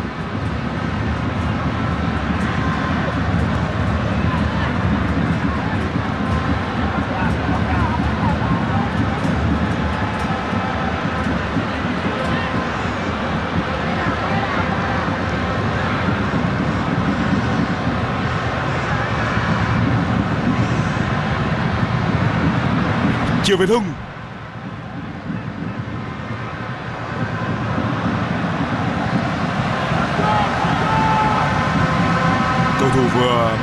ngăn chặn là Thái Quý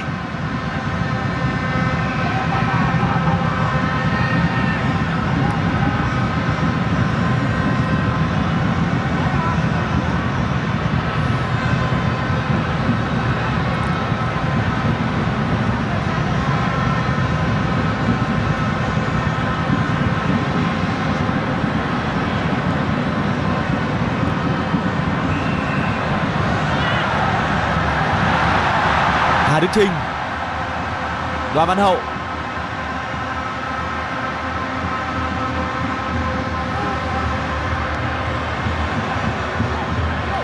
Thành Trung. Rất tỉnh táo. Quang Hải. Lại có tình huống phạm lỗi của cầu thủ đối phương với Quang Hải.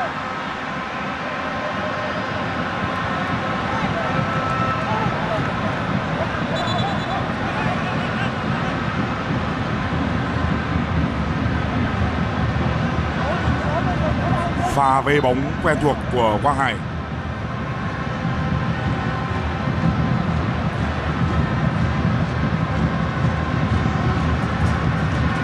Tấn Sinh.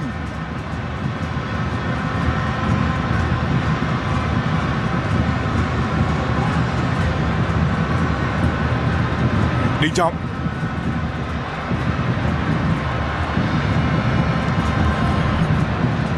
Lúc này thì có thể nói U23 Việt Nam gần như chắc chắn có mặt ở vòng chung kết. Chúng ta đang dẫn 3-0 và đá hơn người. Còn gần một năm nữa đến vòng chung kết và chắc chắn lứa của này sẽ còn tiến bộ nhiều. Họ sẽ được thử lửa qua SEA Games. Và khi đã thành công ở vòng loại rồi trở về câu lạc bộ, cao thủ sẽ được sử dụng nhiều hơn, sẽ được chú ý hơn ngay cả một cầu thủ như Thành Trung ở câu lạc bộ Hà Nội gần đây cũng không dễ để có được suất đá chính khi mà Đình Trọng và Duy Mạnh đã là bộ đội trung vệ của đội tuyển quốc gia vô địch AFF Cup.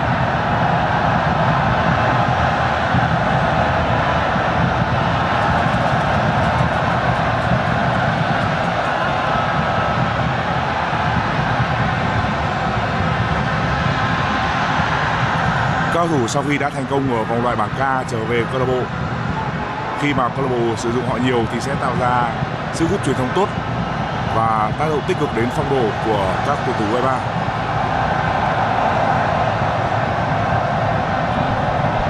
Một tình huống mà Thành Trung đã có mặt rất đúng vị trí và dứt điểm khiến cho đối phương không thể đỡ nổi.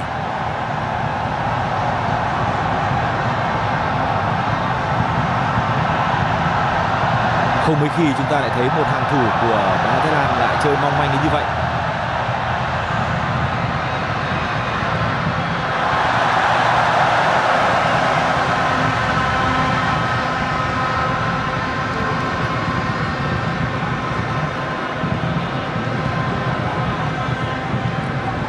phạt góc cho cầu thủ Thái Lan.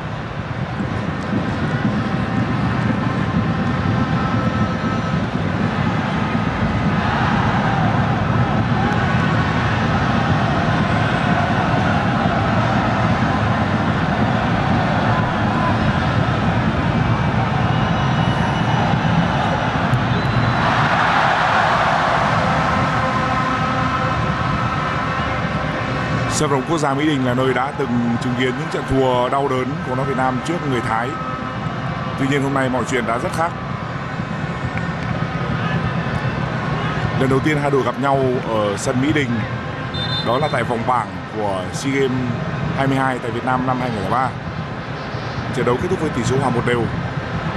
Sau đó hai đội gặp lại nhau ở chung kết và Thái Lan thắng với bàn thắng vàng của Natapon hậu vệ cánh trái.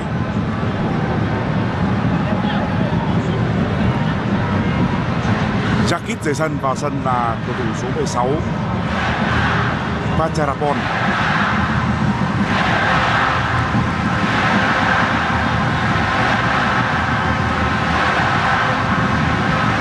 cũng với tỷ số 3-0 lứa trẻ Thái Lan vô địch SEA Games năm 2017 đã khiến chúng ta có buổi chiều có thể nói là buồn khủng khiếp đó là trận thua ở sân Seleyang với lứa của công phượng Xuân Trường. Trận thua đó không chỉ khiến cho giấc mơ vàng bóng đá Việt Nam ở SEA Games năm đó tan tành, mà nó còn khiến cho chúng ta rơi xuống vực sâu của sự hoài nghi. Nhưng rồi vẫn là những con người đó, chúng ta đã trở lại. Niềm tin bây giờ rõ ràng là rất lớn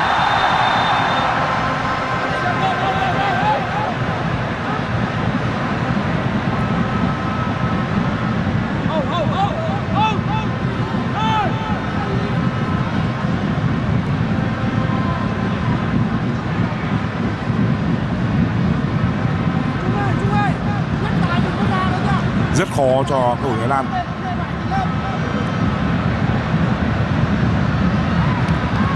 Đoàn Văn Hậu.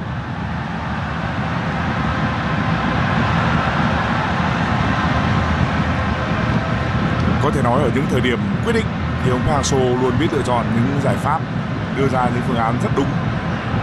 Và đôi khi chỉ một quyết định thôi là trận đấu xoay chiều trận đấu trước khi Việt Nam có phần bế tắc chơi Indonesia thì nhiều người đã nhắn tin cho tôi và hình dung ra một viễn cảnh tồi tệ giống như SEA Games gần đây nhất. Bế tắc và hòa Indonesia, sau đó thua Thái Lan ở trận cuối. Tuy nhiên, chúng ta đã có phần may mắn với bàn thắng của Việt Hưng.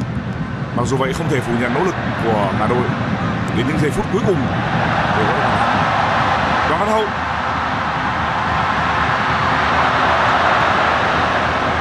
rất nhiều người đã nói rằng thắng hay là hòa với Indonesia thì cũng phải thắng Thái Lan để đầu bảng. Tuy nhiên giữa thắng và hòa trận trước rất khác về mặt tâm lý khi chúng ta bước vào trận đấu với Thái Lan.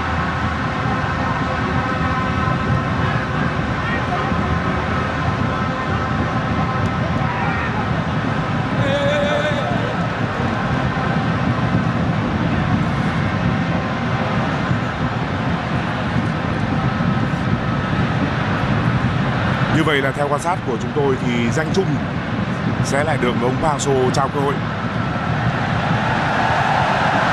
đây là thời điểm mà kết quả của trận đấu có thể coi là đã an bài.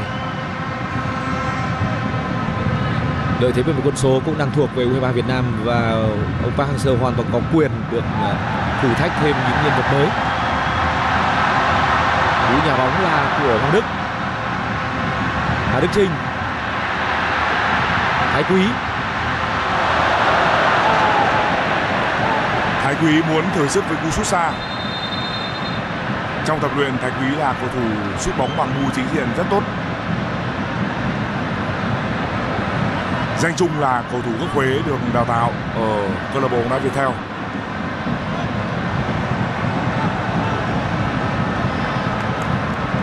Danh chung và sân thay cho Hoàng Đức.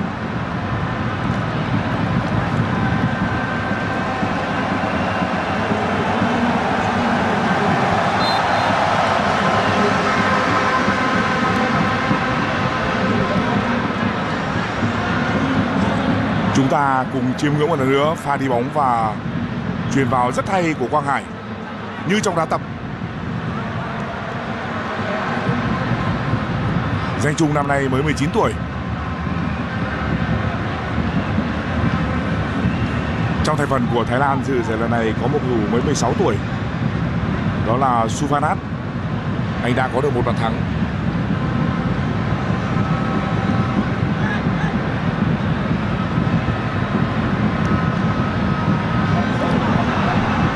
danh chung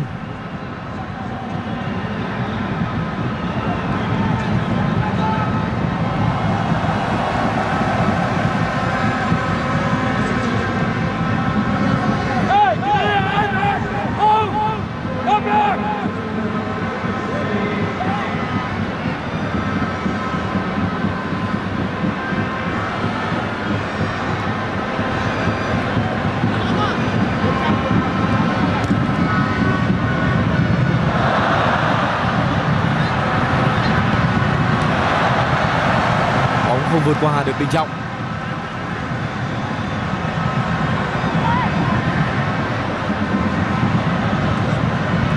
Tấn Sinh. Đường truyền của Hồ Tấn Tài.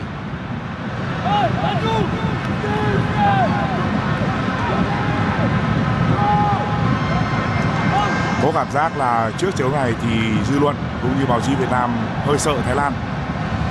Rất nhiều người đã thốt lên rằng hơn một năm huy hoàng của Việt Nam sao không gặp Thái Lan mà bây giờ lứa cầu thủ này không được đều lắm thì lại đụng phải Thái Lan ở trận đấu quan trọng. Tuy nhiên mọi chuyện đã được giải tỏa và bây giờ là một chiến thắng rất bất ngờ. Lúc này là 3-0 thời gian vẫn còn khá nhiều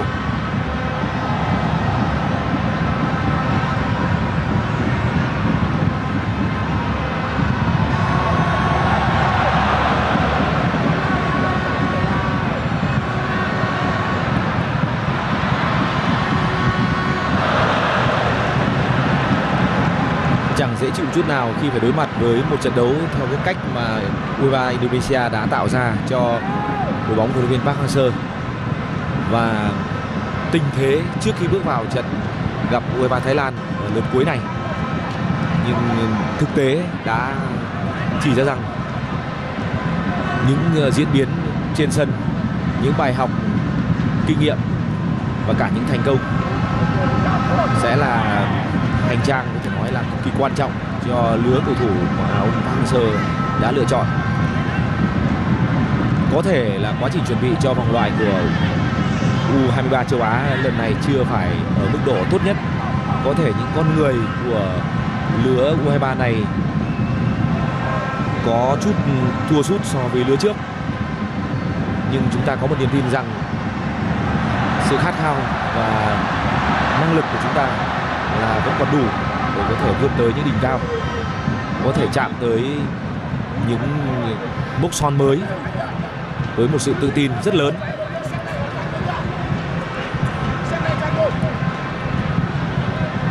Tấn Sinh, mới chỉ cách đây vài tháng thôi, huyền thoại bóng đá Thái Lan. Kirtisak Senamoang đã nói rằng 10 năm nữa Việt Nam mới được kịp Thái Lan. Sau đó thì anh đã rút lại lời nói của mình và ngày hôm nay khi xem trận đấu này thì không biết là cầu thủ đang giữ kỷ lục về số lần ghi bàn cũng như số lấy khoa áo tuyển Thái Lan. Nghĩ gì? Mọi chuyện đã thay đổi rất nhanh và chúng tôi đang mong chờ bàn thắng đưa tỷ số lên 4-0 bình tĩnh! Quang Hải rất tiếc là chưa có bàn thắng đưa tỷ số lên 4-0 danh trung đã để lỡ và Quang Hải có một pha dứt điểm đúng tầm chân.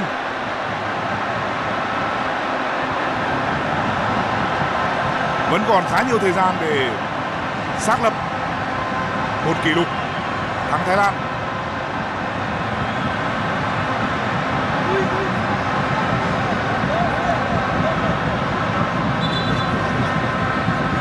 Hà Đức Trinh là người đã đi bóng và truyền vào. Đó là một pha cản phá.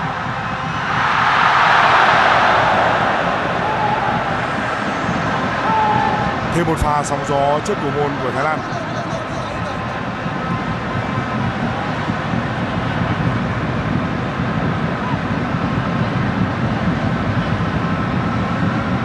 Với những gì đã có cho đến lúc này của trận đấu, đặc biệt là trong hiệp 2 thì tâm lý ngại đá Thái Lan có lẽ sẽ được dỡ bỏ. Chúng ta sẽ vẫn tôn trọng đối thủ lớn nhất của vua đấu đá, nhưng chúng ta sẽ tự tin hơn rất nhiều khi bước vào các cuộc chơi rồi! Vẫn còn Quang Hải. Chân trái. Tiếp tục dứt điểm vẫn không được. Cú chạm bóng ở cự ly gần vừa rồi là của Triệu Việt Hưng. Triệu Việt Hưng! Vẫn còn. Rất nhiều những tình huống lộn xộn trong khu vực 16 m 50 của đội Thái Lan. Nhưng bàn thắng thứ tư vẫn chưa tới. Pha can thiệp rất tỉnh táo của Đình Trọng. Đoàn Văn Hậu. Trên sân lúc này là những diễn biến mà theo cách nói thông thường của dân bóng đá là thế trận bị vỡ của đội đang bị dẫn. Thời cơ không thể tốt hơn để xác lập một kỷ lục mới trong việc thắng Thái Lan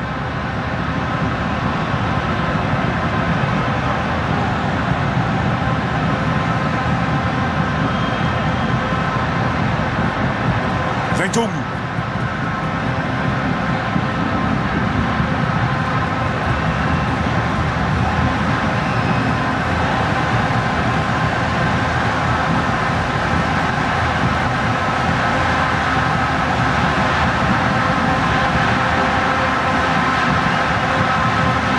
Đường truyền ngược lên Hồ Tấn Tài.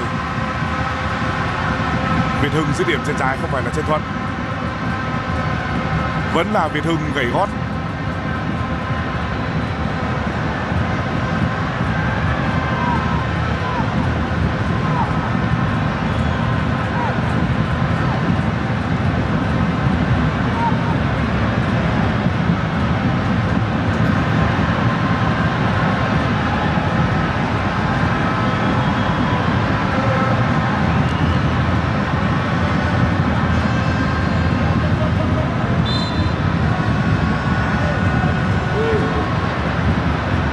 Tố mới được tung vào sân. Trần Thanh Sơn tiền về của Hoàng Gia Lai.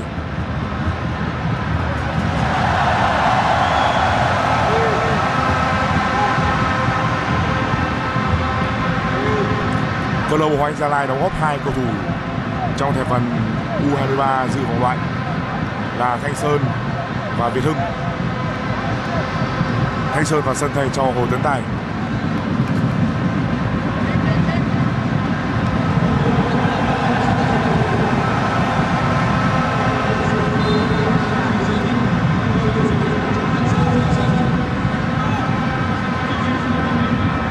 Quang Hải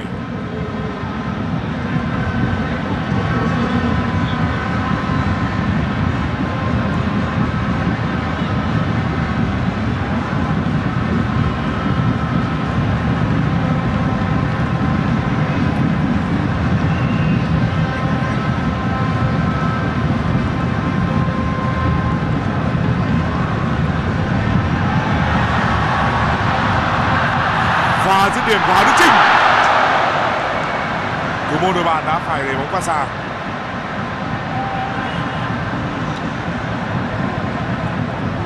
như vậy là có lẽ bóng đã ra phía ngoài trước.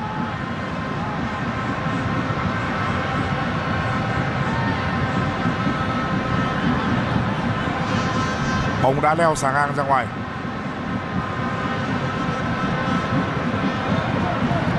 Tình huống gợi nhớ đến pha chuyền bóng của đoàn văn hậu cho anh đức. Ghi bàn vào lưới philippines. Ở bán kết lượt đi, tại bacolod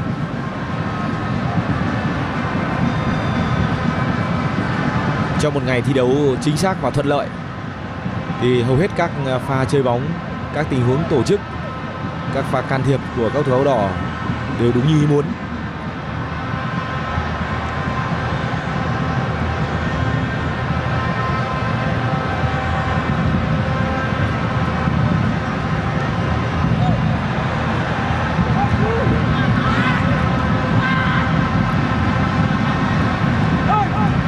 anh với đà phát triển và tâm lý thế này thì không hề là con tếu khi nói rằng chúng ta sẽ rất háo hức để hướng đến vòng loại World Cup, đúng không ạ? chính xác là như thế vòng loại World Cup cũng sẽ là một mục tiêu của bóng đá Việt Nam trong năm 2019 này tôi nghĩ rằng ờ, với thực lực của bóng đá Việt Nam hiện nay thì ờ, chẳng sớm chút nào nếu như chúng ta đặt mục tiêu World Cup, nhất là khi mà FIFA gần như đã đi đến quyết định tổ chức World Cup 2022 với 48 đội bóng nhìn từ kết quả ở Asian Cup, chúng ta cũng có thể làm một phép tính rằng một trong suất, một suất trong 8 đội mạnh nhất của khu vực châu Á là điều mà chúng ta có thể hướng tới được. Tất nhiên chặng đường đi tới World Cup bao giờ cũng cực kỳ gian nan. Nhưng khi mà FIFA World Cup sẽ có sự tham gia của 48 đội bóng và suất tham dự của khu châu Á đã được nâng lên 8 suất rưỡi thì mọi chuyện sẽ khác đi rất nhiều.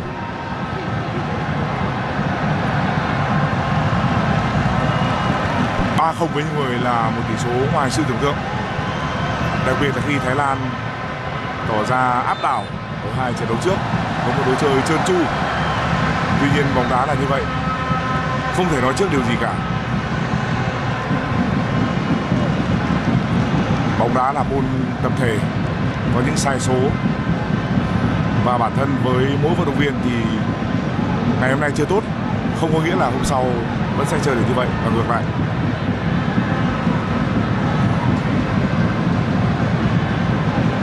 Cho dù đây mới chỉ là một cuộc so đỏ ở lứa trẻ U23 nhưng trong thành phần thi đấu của hai đội có những người có thể chơi được cho đội tuyển quốc gia và tôi vẫn có cảm giác rằng đây sẽ là trận đấu khiến chúng ta cảm nhận một cách ờ, rõ rệt hơn về khoảng cách giữa bóng đá Thái Lan và bóng đá Việt Nam vào thời điểm này. Điều mà chúng ta đã không có được một phép so sánh trực tiếp ở AFF Cup năm 2018.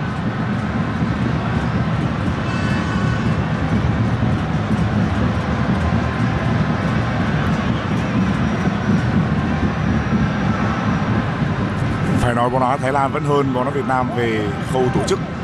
Nó đã đi vào chuyên nghiệp và quy củ rất lâu. Tuy nhiên bù lại, bóng đá Việt Nam có những điều đặc biệt riêng.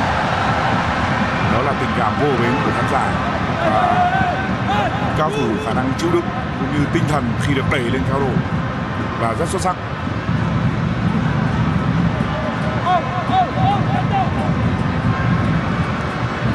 Khi người ta nói đến khái niệm tinh thần Park Hang-seo thì ông Park đã nói một câu rất chí lý rằng ông chỉ là người thổi lên tinh thần vốn có của người Việt Nam. Thổi đúng lúc đúng chỗ. Vâng, đó luôn là cái giỏi của một người thầy, của huấn luyện viên. Tạo ra một niềm cảm hứng đúng lúc, đúng chỗ ờ, là sự khác nhau giữa những người đang dẫn dắt của tập thể như được môn môn bóng đá.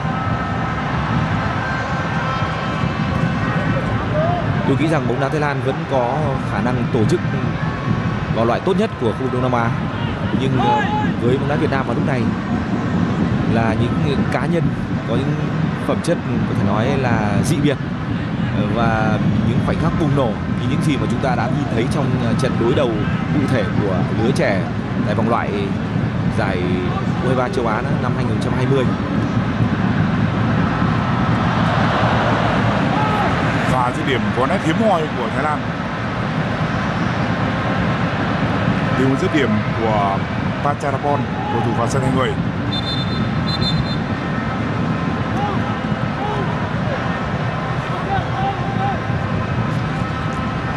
Cầu thủ thay người cuối cùng đã vào sân. Thanh Thịnh vào sân thay Tấn Sinh.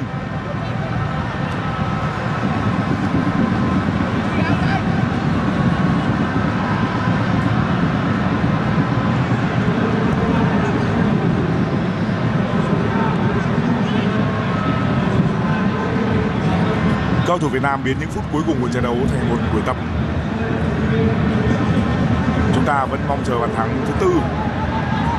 Tuy nhiên có vẻ như Barso không biết gì đến trận bán kết Cúp Tiger 98 cả. Thành ra có lẽ ông không nhắm đến kỷ lục gì cả, mà chỉ để cho đội bóng thi đấu ở mức độ ổn định. Tránh những sai số.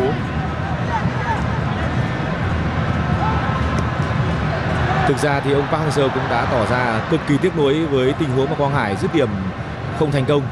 Một pha bóng mà hoàn toàn có thể khiến cho trận đấu có khoảng cách lớn hơn. Có lẽ điều ông mong mỏi nhất với thầy trò là tận dụng à, tốt nhất những thời cơ.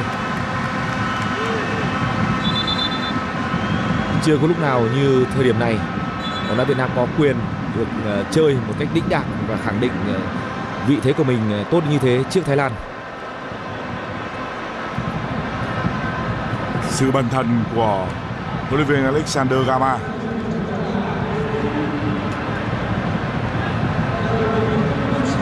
Ngay từ đầu vòng loại, tôi đã có nhận định rằng những cầu thủ này, những người mà 11 người trong số dự vòng loại đã đến với giải U20 thế giới là những cầu thủ rất tiềm năng. Chỉ có điều họ không gặp được những cái thuận lợi, bởi vì những năm qua không được thi đấu nhiều, tích lũy kinh nghiệm không nhiều rõ ràng là đã có sự tiến bộ và sẽ còn tiến bộ từ giờ đến cuối năm, cũng như hướng đến vòng chung kết U23 châu Á đầu năm sau.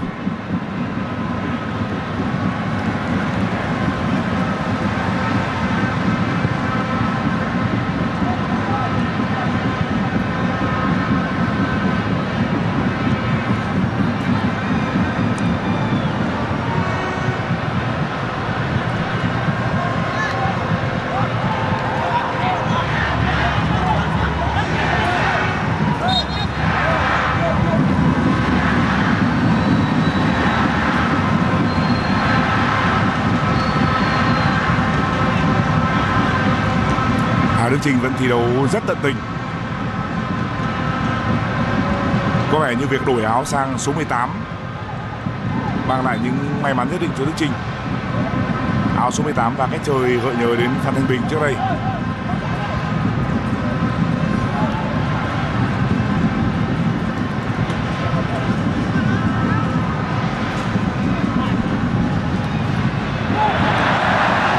Và chuyển bóng ngẫu hứng của Quang Hải. Thanh Thịnh trả nước đập long. Quá loạn tỷ số là 4-0 cho U23 Việt Nam.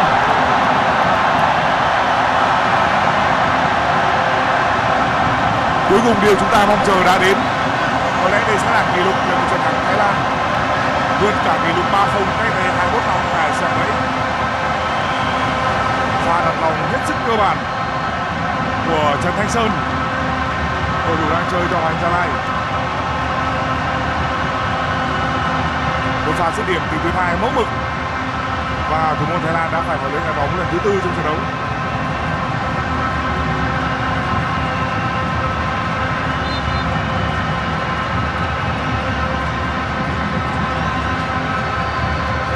Pha bóng có sữa mặt của hai cầu thủ vào sân hai người. Đây là giải đấu mà những pha đi bóng xuống góc trái sau đó đưa ngược lên là vũ khí rất đáng chú ý của U23 Việt Nam. Thanh Thịnh. Thanh Sơn đã có cú đặt lòng cực kỳ chuẩn mực. Và trước đó không thể không nhắc đến pha bóng rất nghệ thuật của Quang Hải. Một cú đặt lòng rất chắc chân và thủ môn Thái Lan Hoàng Nam lại bị khuất tầm nhìn.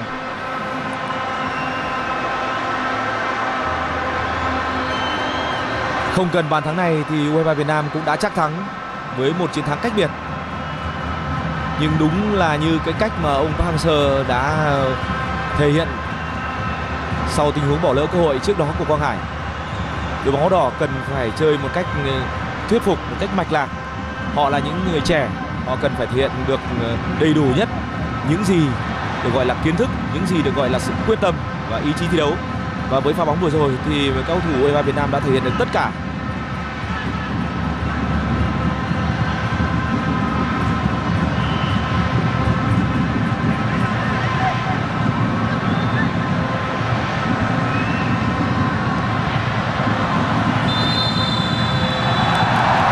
hết giờ U23 Việt Nam có một chiến thắng xuất sắc trước U23 Thái Lan đó là điều mà chúng ta không dám nghĩ tới trước khi trận đấu này diễn ra.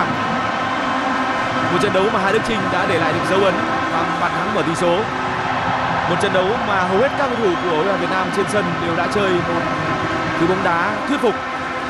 Chúng ta kiểm soát tốt trận đấu và có cách biệt lớn nhất trước Thái Lan trong lịch sử. Các bàn thắng tiếp theo sau pha ghi bàn của Hà Đức Trinh thuộc về Hoàng Đức, Thành Trung và bàn đã định chiến thắng của đội chủ nhà thuộc về Trần Thanh Sơn. Với kết quả này thì U23 Việt Nam đã xuất sắc giành được vị trí nhất bảng K để giành tấm vé chính thức lọt vào vòng chung kết của giải U23 châu Á năm 2020.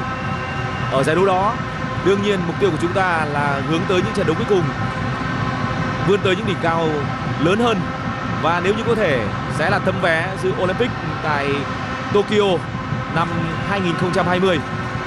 Các bạn thân mến, buổi tường thuật của chúng tôi trận đấu cuối cùng tại vòng loại bảng K giải U23 châu Á năm 2020 giữa hai đội tuyển U23 Việt Nam và U23 Thái Lan xin được dừng lại đây.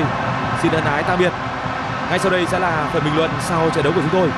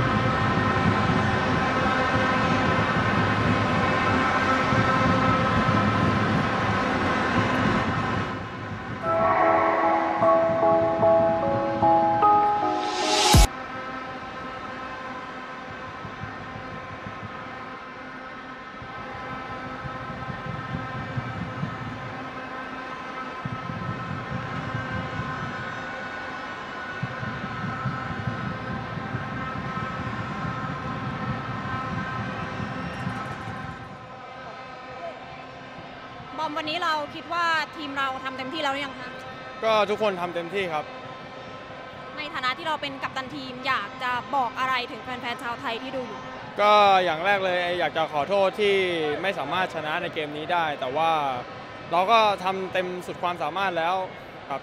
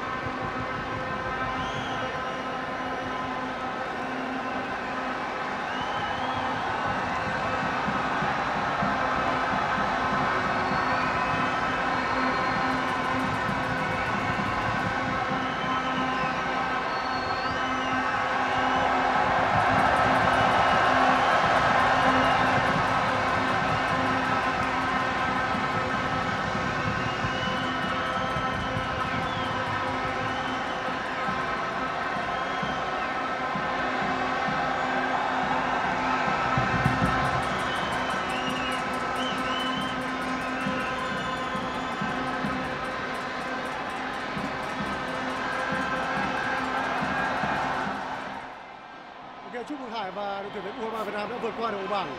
Cảm xúc Hải thế nào sau khi trận đấu kết thúc? Ờ, thật sự ờ, cá nhân ờ, Hải cũng như là toàn đội hôm nay đã có một trận đấu rất là cố gắng và đã có được cái kết quả như mình đề ra và những cái gì mà mình đã chuẩn bị và hướng tới thì mình đã đạt được ngày hôm nay thì cá nhân Hải cũng như toàn đội cảm thấy rất vui và hạnh phúc.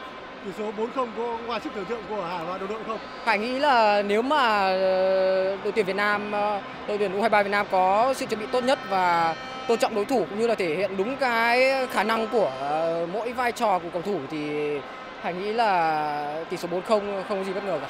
Trước trận đấu thì ờ, Hải và đồng đội có gặp nhiều áp lực không khi chúng ta thắng Indonesia với tỷ số 1-0? Thật sự thì ờ, cá nhân Hải cũng như toàn đội gặp có, có gặp đôi chút áp lực nhưng mà có rất là nhiều hôm nay ngày hôm nay phải cảm ơn tất cả những cổ động viên đã đến sân cổ vũ cũng như là cổ vũ qua truyền hình đã ủng hộ đội tuyển. Đấy là cái động lực để cá nhân Hải cũng như là toàn đội có được một cái ờ, động lực thi đấu rất là tốt và có được kết quả để dành tặng tất cả mọi người hôm nay. Hải có thể tiết lộ một chút trước trận đấu thì thầy Park nói gì với đồng đội? Nội. Thật sự là thầy Bắc là một người đã truyền rất là nhiều cảm hứng cũng như là sự tự tin cho các cầu thủ và ông luôn ờ, muốn cầu thủ thể hiện đúng khả năng cũng như là những gì mình đã chuẩn bị ở trước mỗi giải đấu. Cảm Thì ngày hôm thì ngày hôm nay Xin chúc mừng.